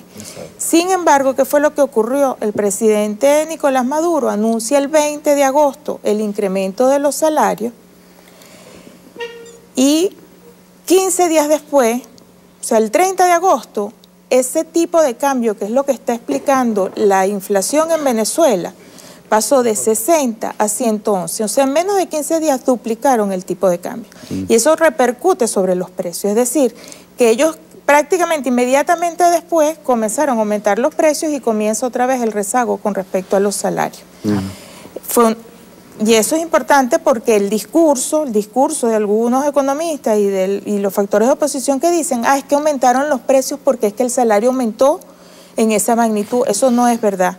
La incidencia sigue siendo la misma mentira de los años 70, 80, sigue siendo Además que está cuantificado, el incremento de los salarios incide en un 5% sobre los precios nada más. Lo terrible es que sea un economista de izquierda el que diga eso. Sí, bueno, también, también lo hay. no puede decir eso. También lo hay, pero... ese es el problema. No importa. Que esas categorías están difusas. Tú sabes que tú agarras, te colocas una boina y dice que eres rojo rojito y se acabó. Los precios comenzaron a aumentar fue porque, ¿cuál fue la reacción? de los enemigos cuando se aumenta el salario. Duplicar ese tipo de cambio en menos de 15 días y al duplicar ese tipo de cambio, eso repercute sobre los precios y otra vez comienza esa brecha. Esa es la explicación de eh, por qué después, ya en septiembre, se comienza a notar ese, esa pérdida del poder adquisitivo. Pero la causa no fue el aumento del salario eh, que ocurrió en ese momento, ¿no? El dinero inorgánico. No, ah, tampoco es, el dinero inorgánico. Ah, esa es otra cosa. Dicen que por el exceso de dinero inorgánico en la calle, eso provoca la, inflación. Sí, bueno, primero que el dinero inorgánico no existe. O sea, cuando, cuando los gobiernos, cuando el Estado emite dinero, crea dinero, eso está sustentado en la economía. Se sustenta en la economía y se refleja en los niveles de producción, incluso eh, incluso mayores niveles de producción, aunque repercuten en incrementos de precios. Pero el caso en Venezuela, y es parte de... El dinero inorgánico termina siendo un, un velo de la teoría monetarista, de la teoría cuantitativa del dinero, para explicar la supuesta inflación y en este caso para explicar la hiperinflación. ¿Cuál es el argumento que está detrás de esa teoría monetarista? y por qué no se cumple en Venezuela y no es verdad que es el dinero inorgánico lo que está generando eh, el incremento de los precios. La secuencia es la siguiente, ellos dicen, aumenta la cantidad de dinero, los gobiernos irresponsablemente aumentan la cantidad de dinero para cubrir su déficit fiscal. Eso es el, ese es el discurso, ¿verdad? Como aumentan la cantidad de dinero, todo ese dinero va a la población y llega a los bolsillos de todos nosotros y con ese dinero nosotros demandamos más bienes y servicios en la economía y eso hace que, dada una oferta de bienes, se presionen los precios al alza. Aquí la primera pregunta que hay que hacer es, ¿quién en Venezuela está demandando más que el año 2012? O sea, eso no es verdad. Aunque aumente la cantidad de dinero, no es verdad que aquí estamos demandando más. Cuando, cuando aumenta la cantidad de dinero, eh, hay dos efectos. Y uno de esos efectos es aumento de la producción, aumento del PIB. Y resulta que en Venezuela no está aumentando el PIB. Al contrario. Entonces es una gran contradicción de los monetaristas tratar de forzar y explicar que la causa de la inflación en Venezuela es con el dinero inorgánico. No existe la categoría de dinero inorgánico, pero además de eso no es la causa de la inflación porque deberíamos verlo reflejado primero en una mayor demanda de todos nosotros. Mm. Preguntémosle a cualquiera si estamos comprando y demandando más que hace unos años. Y lo deberíamos ver reflejado un incremento del Producto Interno Bruto y resulta que más bien ha caído el Producto Interno Bruto. Entonces por allí no es la explicación. Permíteme, Pascualina, para reforzar eso. Y yo voy a ir más allá incluso, mucho más allá, fíjate. Voy a ese mecanismo que planteó Pascualina y cómo se distribuye el dinero entre comillas inorgánico. Yo comparto 300% de lo que yo, eso, eso no existe, ese dinero inorgánico. Y es más que demostrar. Pero vamos a para, fíjate. Tú me dijiste el otro día, primera vez que escucho a alguien que, que dice lo que yo vengo pensando. Que... Oye, el primer economista que yo escucho que, que, piensa en ese, que, para mí que piensa. Fíjate. Primero, eh, el gobierno cubre el déficit fiscal con dinero O sea, rellena ese hueco con dinero. ¿Qué es el déficit fiscal? Otra vez lo expliqué. El déficit fiscal es la diferencia entre lo que el gobierno gastó y lo que el gobierno recaudó. O sea, gastó más de lo que recaudó. Es decir, quedó un hueco allí. ¿En qué gastó el dinero? ¿En qué lo gastó? ¿En bienes y servicios que se producen en el Estado o no? Lo gastó, pues. O sea, en bienes y servicios. Es decir, en bienes que se produjeron en el Estado y en servicios que se produjeron en el Estado. ¿Qué hace el Estado? ¿Qué si el Estado cuando llena ese hueco, ¿qué ocurre? ¿Está pagando qué? Está pagando bienes que ya están, que son, que están dentro de la economía venezolana. Eso es un absurdo. No lo pagues pues y que quiebren los, los productores o, lo- o lo- los productores, que, lo que te, tus proveedores. Luego, fíjate esto, Mario. El mecanismo. Al existir más dinero, ¿ok? En la, en la sociedad, la gente, como dice Pascualina, se distribuye por los distintos mecanismos, deudas, salarios, en fin, pagos, se distribuyen por esos distintos mecanismos, la gente tiene más dinero, demanda más. Cuando demanda más, ¿qué ocurre? Como estamos hablando de un dinero extra. Cuando, ¿Qué pasa cuando demanda más? Los bienes materiales son finitos, siempre son finitos, o sea, tienen, tienen un límite, todo tiene un stock, pues. ¿Qué ocurre? Se genera una escasez, porque hay una demanda que supera a la, a la- a la- a la- a la oferta. Y entonces te dicen mecánicamente, bueno, y eso se eleva los precios. No, no, no, no, no. ¿Por qué eleva los precios si hay una demanda que, que- supera la oferta? ¿Por qué? ¿Cuál es la razón? ¿Tiene que ver con, lo- con la estructura de costo, con los costos marginales? con- No. Cuando la demanda supera la oferta y se genera la escasez, el, el oferente sabe que tú estás dispuesto a pagar más y se aprovecha de eso. Entonces, en esa, en esa escala, el dinero que, que ese dinero inorgánico. O sea, no es que, perdón, Juan Carlos, no es que sube el precio porque el producto cuesta más, ni porque la materia prima la compró más ejemplo. grande. Ajá. Un ejemplo. Porque eso, si algo nos cuesta a nosotros, en, en Bosa con Valdés, es explicar estos temas que son relativamente complejos, tratar de explicárselo a la ama de casa que está ahí en su casa o al jubilado. Y uno hace un esfuerzo, eso es además un esfuerzo enorme. Fíjate esto, si yo vendo vasos, ¿verdad? El vaso, vamos a, a- a- a decir, tiene unos costos de producción, porque evidentemente, y, y ahí está también mi ganancia, ¿verdad? Si yo vendo vasos, ¿qué aspiro yo, Mario? Vender los vasos, ¿verdad? Y venderlos todos. Bueno, ¿qué pasa cuando la demanda supera la oferta? Me lo estoy, lo estoy vendiendo todo. Exacto. O sea, estoy materializando mi sueño, lo estoy vendiendo todo. ¿Lo estoy perdiendo? No. Lo estoy vendiendo todo. Entonces, obviamente yo no tengo ninguna excusa para subir el precio porque yo, le- yo, yo aspiraba a ganar Más eso. bien, más bien, si quiero ganar más, Produzco produzco más. Exacto, Eso es lo al lógico. mismo precio. Eso es lo lógico. Eso es lo lógico. Entonces, Es- fíjate. no Entonces, veamos esto. En ese no mecanismo. importa, pero, pero es la lógica, es la lógica real. Coño. Es la lógica real. Es decir, si él vendió decir todo coño. esto, si él vendió todo esto, discúlpame, eh, si él vendió todos los vasos, la pregunta es, si no ha crecido el monto de la materia prima, si todo está igual, Si no ¿por qué esto tiene que subir de precio? Porque la aspiración de él de ganar Es se refleja, ¿no? se refleja en el precio. El conflicto real de la lucha de clase está expresado Sin duda. entre el per- precio Permíteme ahí, María, y el, y el salario. para terminar ese punto, porque fíjate. Entonces, en, esa, en ese mecanismo, la emisión de dinero, o sea, la cantidad de dinero que se inicia aquí, es una condición suficiente, pero no necesaria para que suba el precio. Es suficiente porque, claro, la excusa es que, bueno, hay más dinero, la gente gasta más, eso crea una escasez y se sube el precio. No, es suficiente porque no es necesario para que suba el precio, porque sencillamente, si el, ¿cuál es la condición necesaria? ¿Cuál sería? La voluntad del oferente, hermano. Exacto. La voluntad de él es necesaria para que suba el precio, porque si él lo que se decide es sencillamente producir más, no tiene por qué subir el precio y no lo sube. ¿Y qué ha ocurrido? Frascalina ha mostrado cualquier cantidad de gráficas donde se ha incrementado la masa monetaria e, e incluso ha caído la inflación.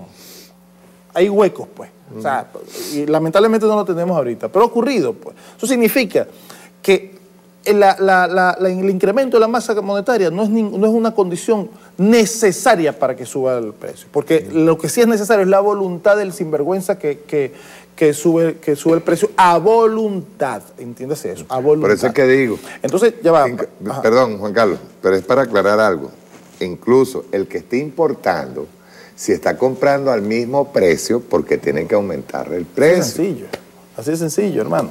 E incluso estoy hablando del importador. pues. Claro, que ahí entraríamos en la verdadera causa del, del incremento de los Ajá. precios. Ahí está. Dígame. que la, la- en Venezuela la principal, la causa determinante y originaria del aumento de los precios es esa manipulación del tipo, de cambio. Y la secuencia es la siguiente. Ellos manipulan el tipo de cambio, que es un arma de guerra, atacan la moneda y te colocan allí en esos portales web un supuesto valor del bolívar que no es el valor real. ¿Qué ocurre? Que los que importan, sean insumos para la producción o materia prima o incluso bienes ya de consumo final, cuando convierten el valor de lo que compraron en divisas en bolívares, se van a referenciar con ese tipo de cambio. ¿Por qué lo hacen con ese tipo de cambio? Porque y además esto es un plan pensado y se montan en el comportamiento de los agentes económicos, por las expectativas.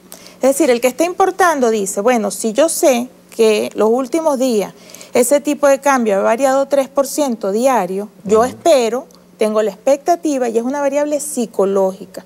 Por eso es que no se puede entender la guerra económica sin lo psicológico. Yo espero que mañana vuelva a variar 3% y así 3% y él va a colocar el precio porque es un ente racional, un agente racional que busca maximizar su beneficio pensando en el precio que está hoy, aunque él haya comprado las divisas a un valor menor, a un precio menor. Él va a colocar el precio en ese tipo de cambio, incluso se va a adelantar. Entonces, todos los precios de los bienes importados van a aumentar, sean insumos o de consumo final. Y cuando importan los precios de los bienes importados, mueven todas las estructuras de costos de los procesos de producción en el país, incluso los que directamente no necesitan un bien importado. Por ejemplo, el que produce tomates, de repente en la producción directa no necesita ningún bien importado, pero sí necesita comprar el caucho, la batería para el camión con el que lleva. Con el que lo él, lleva, va- el transporte. él va a incorporar ese precio mayor del bien importado en su estructura de costo. Y por supuesto, lo va a trasladar a tratar de trasladar al máximo a los precios. Exacto. Entonces, ¿qué ocurre? Entonces, re- recapitulo, manipulan el tipo de cambio, aumentan, aumentan el precio de los bienes importados, aumentan los costos de producción por la vía de las expectativas, que son las expectativas racionales y las adaptativas. ¿Qué significa eso? Que son variables psicológicas.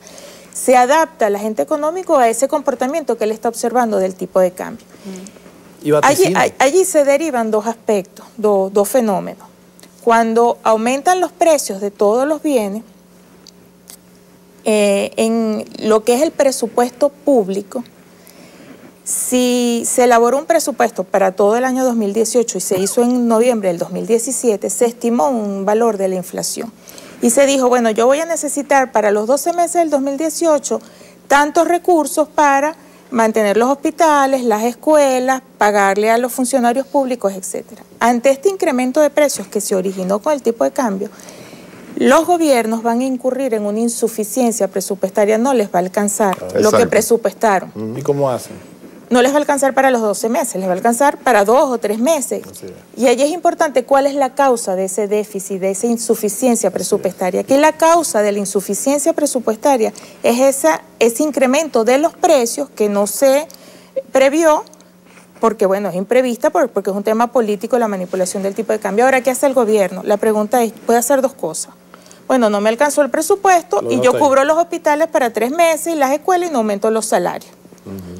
O yo cubro mi presupuesto para los 12 meses. Y en hiperinflación y en inflación con estos niveles, la forma de cubrir ese presupuesto es emitiendo dinero. Es la consecuencia de la inflación. Si- de lo contrario es dejar desaparada O sea, la no es al población. revés. No, no es al revés. O sea, Entonces, es, es lo que estás tratando de explicar. Es decir, la, la inflación es la que provoca la em- insuficiencia la la presupuestaria emisión de dinero. para cubrir, exacto. Bueno, la otra opción es que no, no se haga mantenimiento todo. de los hospitales, que no se aumenten los salarios. Eso por el lado del... Que es lo del- que quisieran este, Claro, el, enemigo. que es claro. lo que está detrás del discurso del dinero inorgánico. No, no emite dinero inorgánico, pero eso implica eh, reducir el, el presupuesto a tres meses, ¿no? O sea, Exacto. solamente cubrir el presupuesto por tres meses. Eso por el lado del gobierno. Y por el lado del gobierno y todo, digamos, todos los organismos públicos.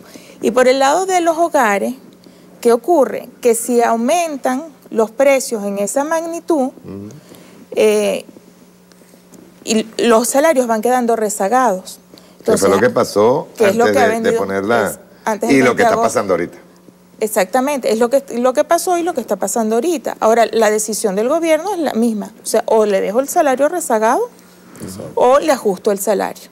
Pero si creo en la, en la- Entonces- en la teoría monetarista, no tengo que dejar el salario regalado porque si le subo el salario, eso va, eso es echarle Eso va a gasolina- generar- va a eso es echarle generar. gasolina al Claro, fuego. pero, pero es, digamos, es dejar desprotegida a la Claro. población, no aumentando el salario ante ese incremento de los precios. Entonces, ese efecto, ¿qué- ¿cuál es el efecto de esa manipulación del tipo de cambio? Por eso decía que es la causa determinante y originaria. De allí se genera todo, to- toda esta cadena que estamos viendo. Bueno, aumentan los precios, pero también tiene un efecto perverso esa manipulación del tipo de cambio, y es que contrae la- los niveles de producción. ¿Por qué los contrae? Porque en el momento en que en un hogar no nos alcanza, porque queda rezagado el salario, gasta, demandamos menos otros bienes y Baja la servicios producción. y los que producen van a tener que cerrar o bajar la producción. Exacto. Entonces aquí de lo que se trata cuando se emite el dinero inorgánico es dar prioridad y volvemos a este tema de cuál es el equilibrio prioritario, el macrosocial o el económico.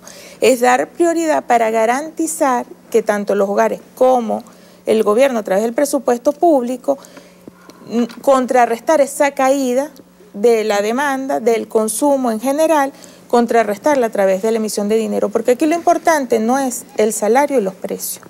Aquí lo importante realmente es el poder adquisitivo. Claro. Y es que nosotros, los venezolanos, eh, tengamos los mismos niveles de consumo y por lo tanto de condiciones de vida y de calidad de vida y del buen vivir. Que eso sea emitiendo dinero, bueno, en esta situación de hiperinflación, digamos, está la disyuntiva, pero esa disyuntiva se plantea en los libros de texto, está escrito, se plantea en otros países, El pero tema- en revolución el- no se puede el tema de, plantear la- de, de- de parar la hiperinflación, ese es otro tema que vamos a tocar en otro programa, ¿verdad? Que tiene que ver con la estabilización de la moneda. Así es. Y eso sí lo vamos a tocar en otro, Ya, Mario, pa- en otro para, tema. para Dime. culminar con ese punto, que hay un mito, ¿no? Cuando te hablan de hiperinflación, de, eh, de hiperinflación, no, perdón, de dinero inorgánico, te dicen, ese es un dinero que se emite por encima del tamaño de la economía del- de un país, es decir, por encima de lo que, del Producto Interno Bruto, pues. ¿ok? Entonces, lógicamente tú dices, oye, verdad, si nosotros producimos X cantidad de bienes, debe, eh, eh, debe haber una cantidad de dinero suficiente para que esos bienes se circulen, ¿verdad? se distribuyan y circulen. la- Pero si emites más de lo que para, para, para, para y, y mantienes los mismos bienes, eso puede afectar la, la- la- la- el precio, pues. Es un mito falso, porque no es la cantidad de bienes lo que determina el dinero que circula. Es el precio de esos bienes lo que determina el dinero que circula. Porque el dinero, al, dinero le están dando una facultad los, los monetaristas que no la tiene, o sea, una cualidad que no tiene, y es la de que fijar precio. El dinero no fija precio. Dinero es para que circulen los bienes. Entonces, si yo tengo cuatro bienes que son muy caros, yo produzco cuatro bienes muy caros, necesito mucho dinero para que circulen, pues. ¿ok? Si yo produzco muchos bienes muy baratos, no necesito tanto dinero para que circulen. Eso refuerza lo que dijo Pascualina ahorita. El problema es que aquí todo sube, que ¿qué va a hacer, qué va a hacer el Estado? No, pero es que voy, voy a poner lo peor, y eso lo estuvimos hablando el otro día. Que de la importación, por ejemplo, de medicina, hemos gastado mucho más por menos cantidad. Sí, eh, la investigación que Pascualina eh, presentó Fundalatin para desmentir el informe de, El alto comisionado. del alto comisionado, ahora recientemente que lo entregó, lo elaboraron Pascualina, Olga, la gente de Fundalatin, eh, para eh, desmontar el informe que él presentó, una de las características era plantear, sobre todo en el tema de salud, cómo había sucedido en Venezuela el deterioro y cómo se estaba mostrando interesadamente al mundo. Pascualina encontró una cifra, además que son perfectamente verificables, en donde el Estado venezolano había invertido del año 2014 en relación a lo que se había invertido en años anteriores, más del doble de lo que era necesario para el tamaño de la economía nacional, solamente en medicina. Y resulta que había llegado solamente el 31% de lo que se había utilizado. Es decir, los tipos recibieron más plata y trajeron menos medicina o fabricaron menos medicina. Y el otro tema, bueno, es el tema del bloqueo, debido a las patentes, lo que explicaba el martes pasado eh, Eric Rodríguez, el tema exclusivo, excluyente de las patentes, que además es una relación de dominio. O sea, el capitalismo, la globalización ha mutado, Mario.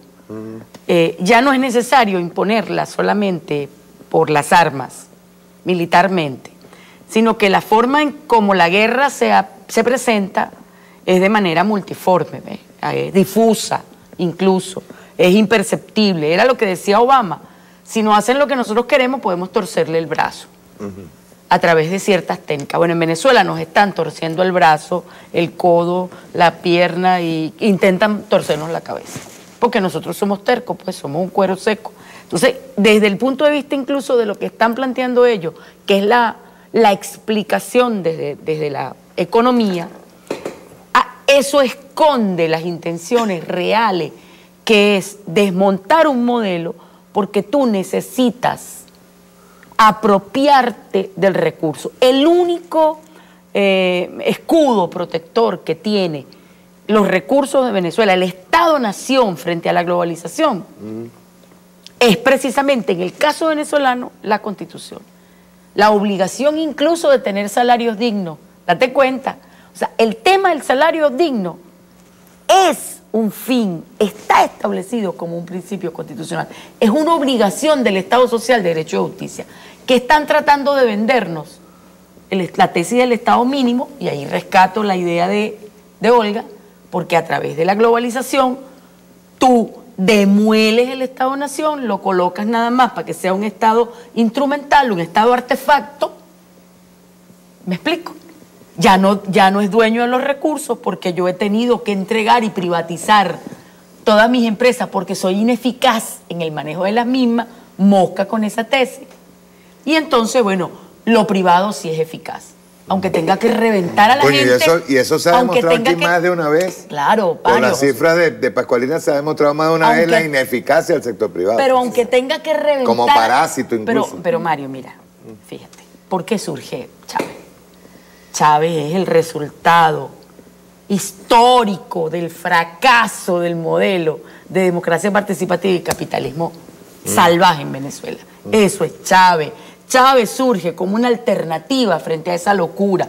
Entonces no nos pueden venir a vender a esta altura del partido, después de 20 años, que no, que bueno, que el mercado es el que tiene la razón, que Chávez se equivocó, que, lo, que los monetaristas son los que tienen la razón, que el Estado no puede, y no puede ampliar la inversión social y que a la gente hay que congelarle los salarios y achicar el tamaño del Estado. O sea, yo no me creo esa, pues. Yo no me la creo porque ya lo vivimos. Aquí hubo la primera insurrección en el 27, mundo contra el, 28. liberalismo, contra el neoliberalismo. Fue en Venezuela en 27, 1989. 29. ¿Por qué surge Chávez en el 92? Producto de esas inequidades y de toda la podredumbre de ese sistema. Y ahora tú me vas a hacer, tú me vas a querer vender Me va a con el mismo cuento. de- además desde una posición supuestamente revolucionaria, que es lo más grave de todas, porque como el ataque es una infiltración cognitiva, el tema es disociar a la gente. Entonces tú tienes un discurso de izquierda, socialismo, para allá y para acá, y resulta que lo que estás aplicando son medidas de, de cierto, carácter, o, o proponiendo pero medidas quiero- de carácter capitalista. Quiero, quiero hacer un. Antes de pasar un video, que quiero pasar este videito. Quiero hacer una observación. Pascualina es mi amiga, mi hermana, mi camarada. Nos aprendimos a respetar ambos. A veces riegan por allí rumores ridículos, donde dicen, por ejemplo, si tenemos diferencia entre María Alejandra y yo, entre Pascualina y yo, que yo no te había invitado más, Pa- Pascualina. No, todo lo contrario, nosotros vivimos estrechamente vinculados, sea por teléfono o sea personalmente. Porque no se trata ya del ser camaradas en la acción y en el trabajo, es ser camaradas desde el sentimiento, desde el corazón. Y eso no lo rompe nadie. Vamos a ver este video que me encantó, Chávez Radical. ¿Cuál es el plan? ¿Lo tenemos? Ruede.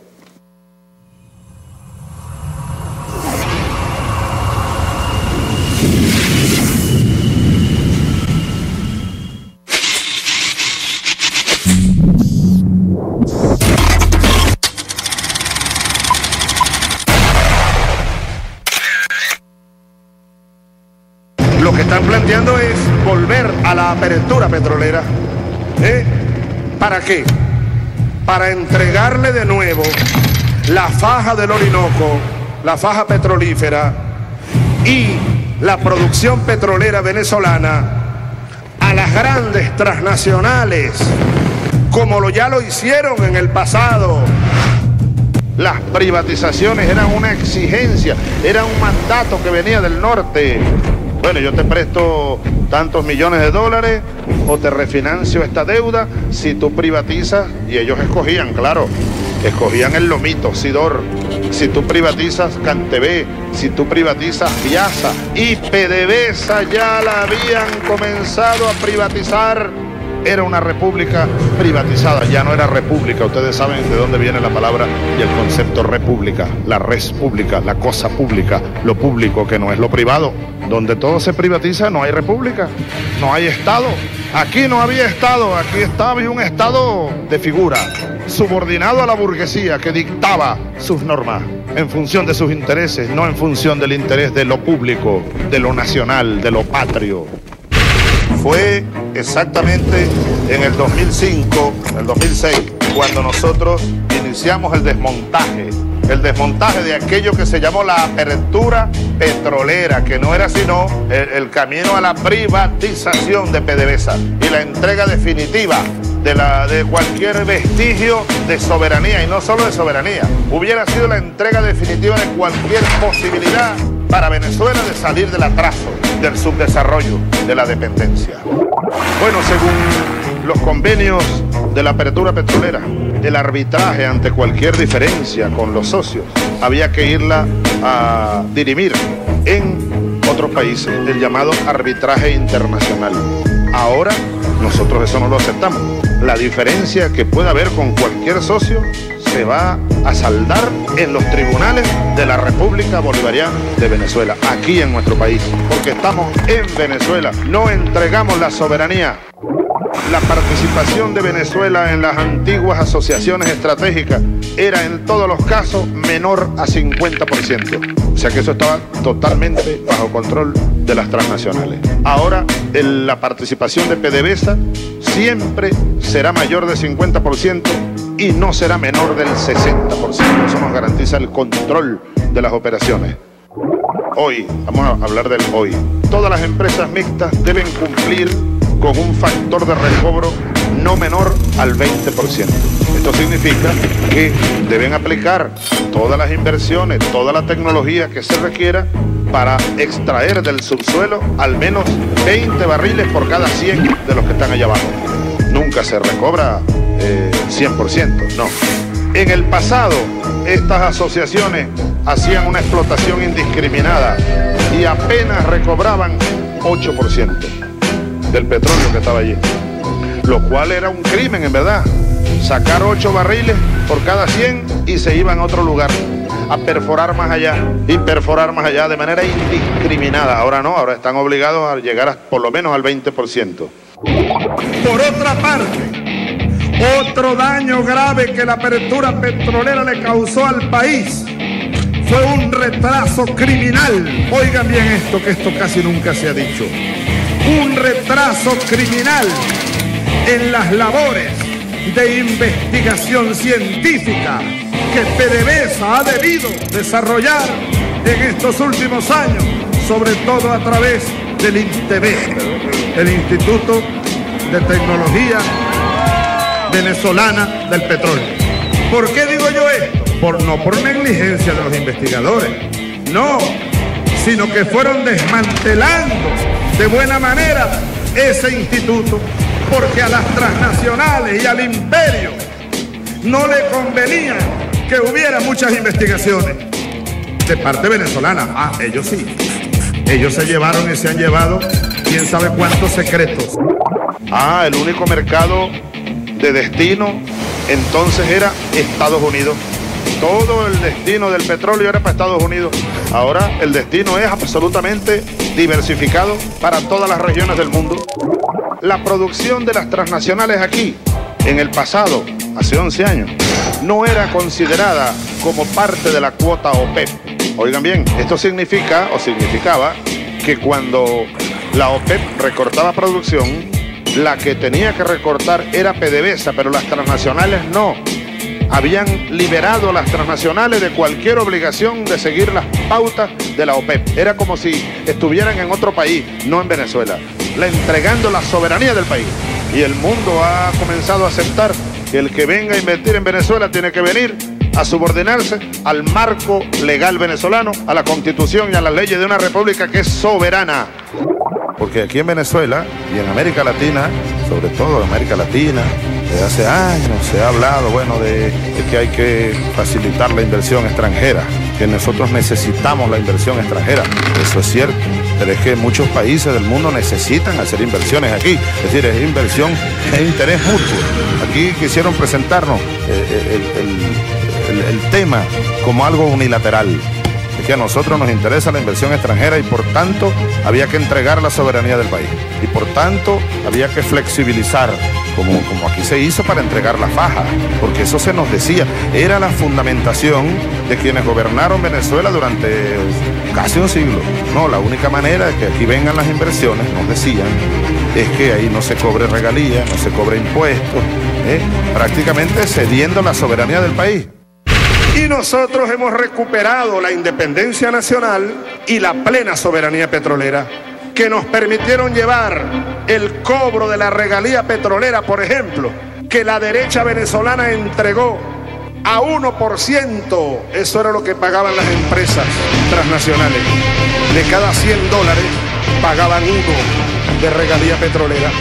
Nosotros la llevamos a 33%. El impuesto sobre la renta petrolero que las transnacionales pagaban, apenas pagaban 30%, la llevamos a 50%.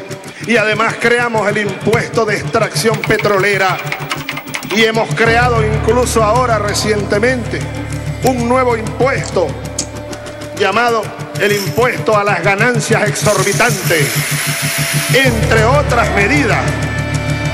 Bueno, producto de esas medidas es que nosotros hemos rescatado para el pueblo en estos 10 años que han pasado cerca de 300 mil, más de 300 mil millones de dólares. Ahí está la plata del pueblo, ahí está la riqueza nacional, ahora distribuida en función de las necesidades del pueblo. Una política económica, petrolera y fiscal revolucionaria es lo que nos permite tener los recursos necesarios para seguir apoyando las grandes misiones, las misiones, la inversión social, la construcción de fábricas, la construcción de carreteras, salarios dignos para los trabajadores, seguridad social para la clase obrera, para los pensionados.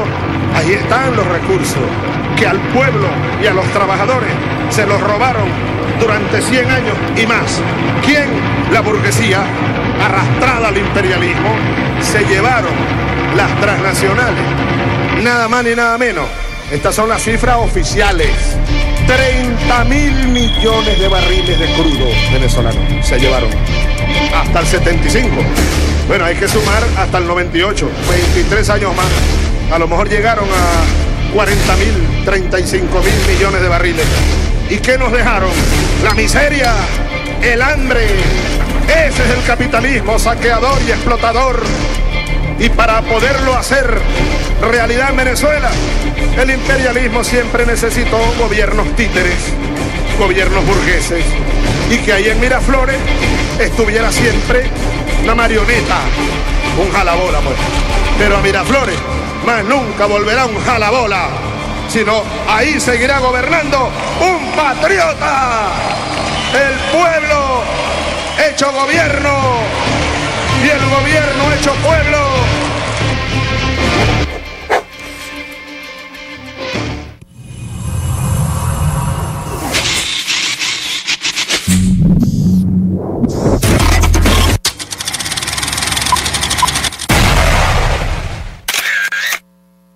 Me quedan 10 minutos de programa. Tú me dijiste que iba a hablar un minuto. Oh, Te lo voy a contar. Dame uno a mí. Ok. A ver, Juan Carlos. yo solamente quería decir una cosa para cerrar el tema de- del dinero inorgánico, era que, señores, recuerden que el Estado no es el único que emite dinero.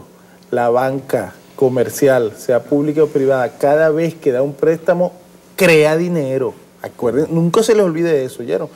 Y lo otro, no olvidemos que el may- la mayor fuerza de la revolución bolivariana es el pueblo. Y para el capitalismo, invertir en el pueblo no es una inversión, sino un gasto. Para nosotros es todo lo contrario. Es una inversión y es una, es una necesidad incluso pues, para la transformación de la sociedad. Eso es todo. Paco Alina. Sí. Bueno, yo quería, eh, hay dos gráficas que, que, sí, habíamos Vamos a ver si traído, Mario. logramos presentación con. Vamos a ver si desde la actual. Espérate un momentico. Ahí tienes. poco para mostrar y demostrar con números y datos lo que estábamos diciendo de la causa originaria de la inflación. Y esa gráfica muestra la línea roja, es la inflación en Venezuela desde el año 80. Entonces se ve como a partir del 2012, cuando comienza esa arremetida, intensifica en la manipulación del tipo de cambio, cómo aumentan los precios en Venezuela. Pero las barras azules es la producción, el Producto Interno Bruto. Y es una forma de demostrar con datos que la inflación que nosotros estamos viviendo es consecuencia de esa guerra económica y esas agresiones, no es un problema de la producción. A pesar de que la producción ha caído los últimos años que se ve allí, está por encima de los últimos 30 años. Y nosotros tuvimos, por ejemplo, el año 89, el año 96, que se ve allí, incluso el 2003, eh, el año 2003 los niveles de producción fueron muy bajos por el ataque, el sabotaje petrolero y el paro patronal y los niveles de inflación no llegaron en lo absoluto a los niveles que tenemos ahorita. Eso es para mostrar que la inflación es totalmente inducida a través del tipo de cambio. Y la siguiente gráfica, no sé Déjame si... ver si. Espérate un. Me dice. Esta. Bueno, allí se muestra que históricamente la línea roja es la inflación, la línea verde es el tipo de cambio en esos mercados paralelos. Y bueno, aquí en Venezuela históricamente, como se mueve el tipo de cambio, se mueven los precios. Es a través del tipo de cambio que nos están generando este incremento de los precios. El ataque que hemos recibido desde el año 2012 hasta hoy suma 353 millones por ciento del ataque a la moneda. El año 2013 estaba en 8,96 bolívares fuertes por, por dólar, el tipo de cambio 8 bolívares fuertes por dólar, y en estos portales se está marcando ahorita en casi 30 millones de bolívares. Cuando uno, ¿de dónde sale ese 353 millones? Por ciento, 30 millones menos 8, entre 8 por 100. Esa es la magnitud del ataque que hemos recibido. Creo que teníamos aquí, en, en esta, teníamos, creo, si no me equivoco, Esa, aquí lo tiene. sí, eh, aquí dice la magnitud del ataque. Dólar Today, escala logarítmica y, y está la fuente, fuente de Dólar Today. Sí, Ahí lo tiene. son- que es- estaba en 8 bolívares y ahora está en 31 millones de bolívares. Ese, ese es un buen indicador para medir el nivel de agresión contra el pueblo venezolano, que son Y 350 esto se le presentó a la gente en, en Bélgica, en, en Ginebra. en Ginebra. Sí, sí. Eh, bueno, eso se ha presentado, ¿no? Sinceramente, uno le gustaría ver que algún economista tratara de explicar por qué nuestra moneda se ha depreciado, entre comillas, en esa magnitud. O sea, aquí en Venezuela no ha ocurrido nada en esa magnitud para decir que en estos cinco años ha habido esa depreciación. Como no ocurrió nada entre el 20 de agosto que el presidente Maduro anunció la medida y el 30 de agosto que se duplicó. ¿Qué pasó esos 10 días? Es una manipulación política, es una agresión. Y bueno, culminar diciendo un poco y at- atendiendo aquí al, al video, que salir victoriosos de la guerra económica implica consolidar el socialismo. Cualquier otro camino distinto a la consolidación del socialismo, el socialismo, el nuestro, como decía el comandante Chávez, el socialismo del siglo XXI, eh, es lo que nos va a permitir salir victoriosos no solo a la guerra económica de hoy, sino a las eventuales guerras económicas que nos quieran hacer en un futuro. Eh, y para nosotros es relativamente fácil. Y, creo, y lo decía Olga antes, nosotros el 98% de los ingresos de este país son del Estado. O sea, es más fácil hacer el socialismo cuando el 98% de los ingresos de las divisas son del Estado y no son del sector privado. Entonces aquí el tema del uso de esas divisas que tributen a la producción nacional a una, eh, una distribución igualitaria de esos ingresos eh, a través de la producción, con distintos modos de producción. Esa es la vía para derrotar la guerra económica ahorita y las futuras también. Olga. Bueno, para nosotros esta guerra multiforme ha sido realmente muy dura, ¿no? Yo creo que, que este pueblo en resistencia le ha tocado sortear impor- importantes obstáculos, igual que al presidente Nicolás Maduro, ¿no? Yo creo que ha sido eh, momentos muy complicados, pero que definitivamente nos han ayudado a desaprender de forma acelerada, a replantear desde la crítica, evaluar las situaciones y poder... eh, diseñar definitivamente, como lo decía Chávez en el 99, un modelo propio económico que permita desarrollar el modelo socialista definitivamente. O sea, estamos en avanzada, a pesar de las dificultades, ha sido un momento importante. Y en este momento le decía, en- cuando ponías el video, comentaba que además estamos a 15 días, además es un proceso electoral. Entonces nosotros tenemos que, a- este, estos días han recrudecido los ataques porque saben lo que estamos frente a un Dicen los proceso gallegos y lo, y lo que rondará Moreno. sí, estamos ante un proceso electoral dentro de 15 días el que tenemos que sumarnos para escoger a más de 4.900 concejales. Estamos también ante un ataque permanente desde la Asamblea Nacional para desconocer la toma de posesión del presidente Nicolás Maduro el 10 de enero y bueno, nosotros nos encontramos en la vanguardia para defender este proceso revolucionario, para acompañar al presidente Nicolás Maduro en este momento tan difícil de que estamos viviendo. pues. María Alejandra. Bueno, yo voy a rescatar eh, el modelo que diseñó Rusia para recuperarse, porque hablamos de cómo demolieron a Rusia, pero no hablamos de que Rusia se recuperó, a la Unión Soviética. Rusia se recuperó con un modelo de política social propio, basado en tres fines, justicia, bienestar y orden. Justicia en la protección social y laboral por parte del Estado, es decir, un Estado fuerte, un orden social, autoridad, orden público y reconstrucción económica y demográfica. ¿Basado en qué? En apalancar ese crecimiento en los ingentes recursos naturales que tenía, que tiene. Que tenemos. Y que- pero yo te estoy No, pero hablando. yo- pero me vengo para acá, Pero, pero fíjate, Ah. ¿por qué hago es profeso la comparación con Rusia? Porque yo insisto. Tenemos que recuperar el horizonte de sentido, lo que se conoce como el azimut, que es la orientación espiritual y material del proceso revolucionario. Y eso solamente se logra volviendo a Chávez. Yo sigo insistiendo, parecerá que es fastidioso, pero hay que volver a Chávez. Ahí está. Más claro, imposible. Quien quiera entenderlo, a buen entendedor, pocas palabras. Por eso digo que hay que ver incluso cómo se recuperó Rusia. Ahí está, algunos autores le dicen el catechón, otros el catejón, que es el plan espiritual, material que diseñó Rusia y que puso al frente a un tipo y le dijo, usted no se equivoca. Si usted se equivoca, estamos nosotros atrás para corregirlo. Un partido fuerte, un Kremlin, una organización política fuerte que no permite desvíos y que si el tipo se le ocurre desviarse, no va a poder, porque ahí hay, ahí hay atrás todo, un- todo, todo un plan, el plan, Juan. El plan para qué? Para volver a Chávez y además recuperar el aliento frente a la guerra, recuperar la esperanza. Este es el país más rico del mundo. Nadamos sobre un mar de petróleo.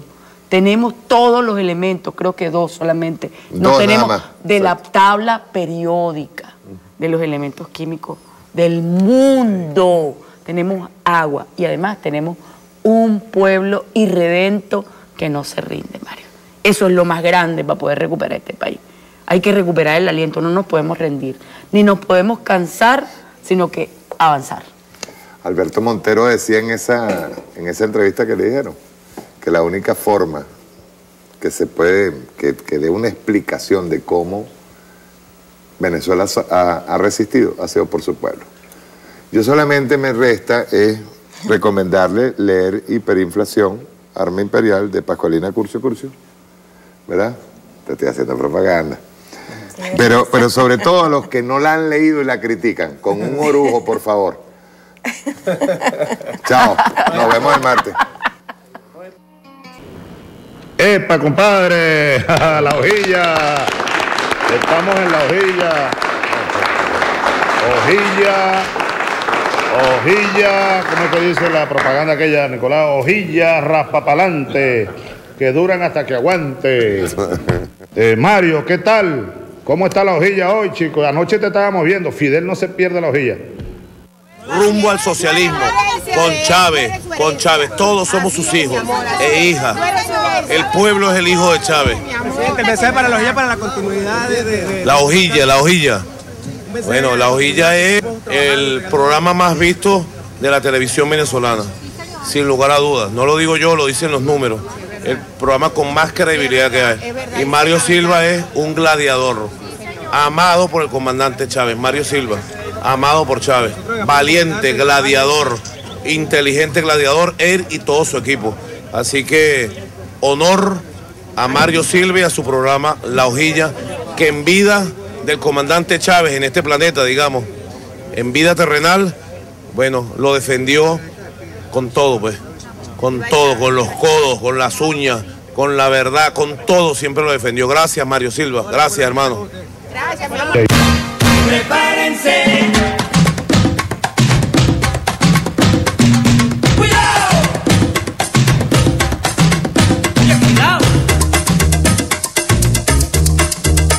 Bueno, yo además de cristiano, yo no soy solo cristiano.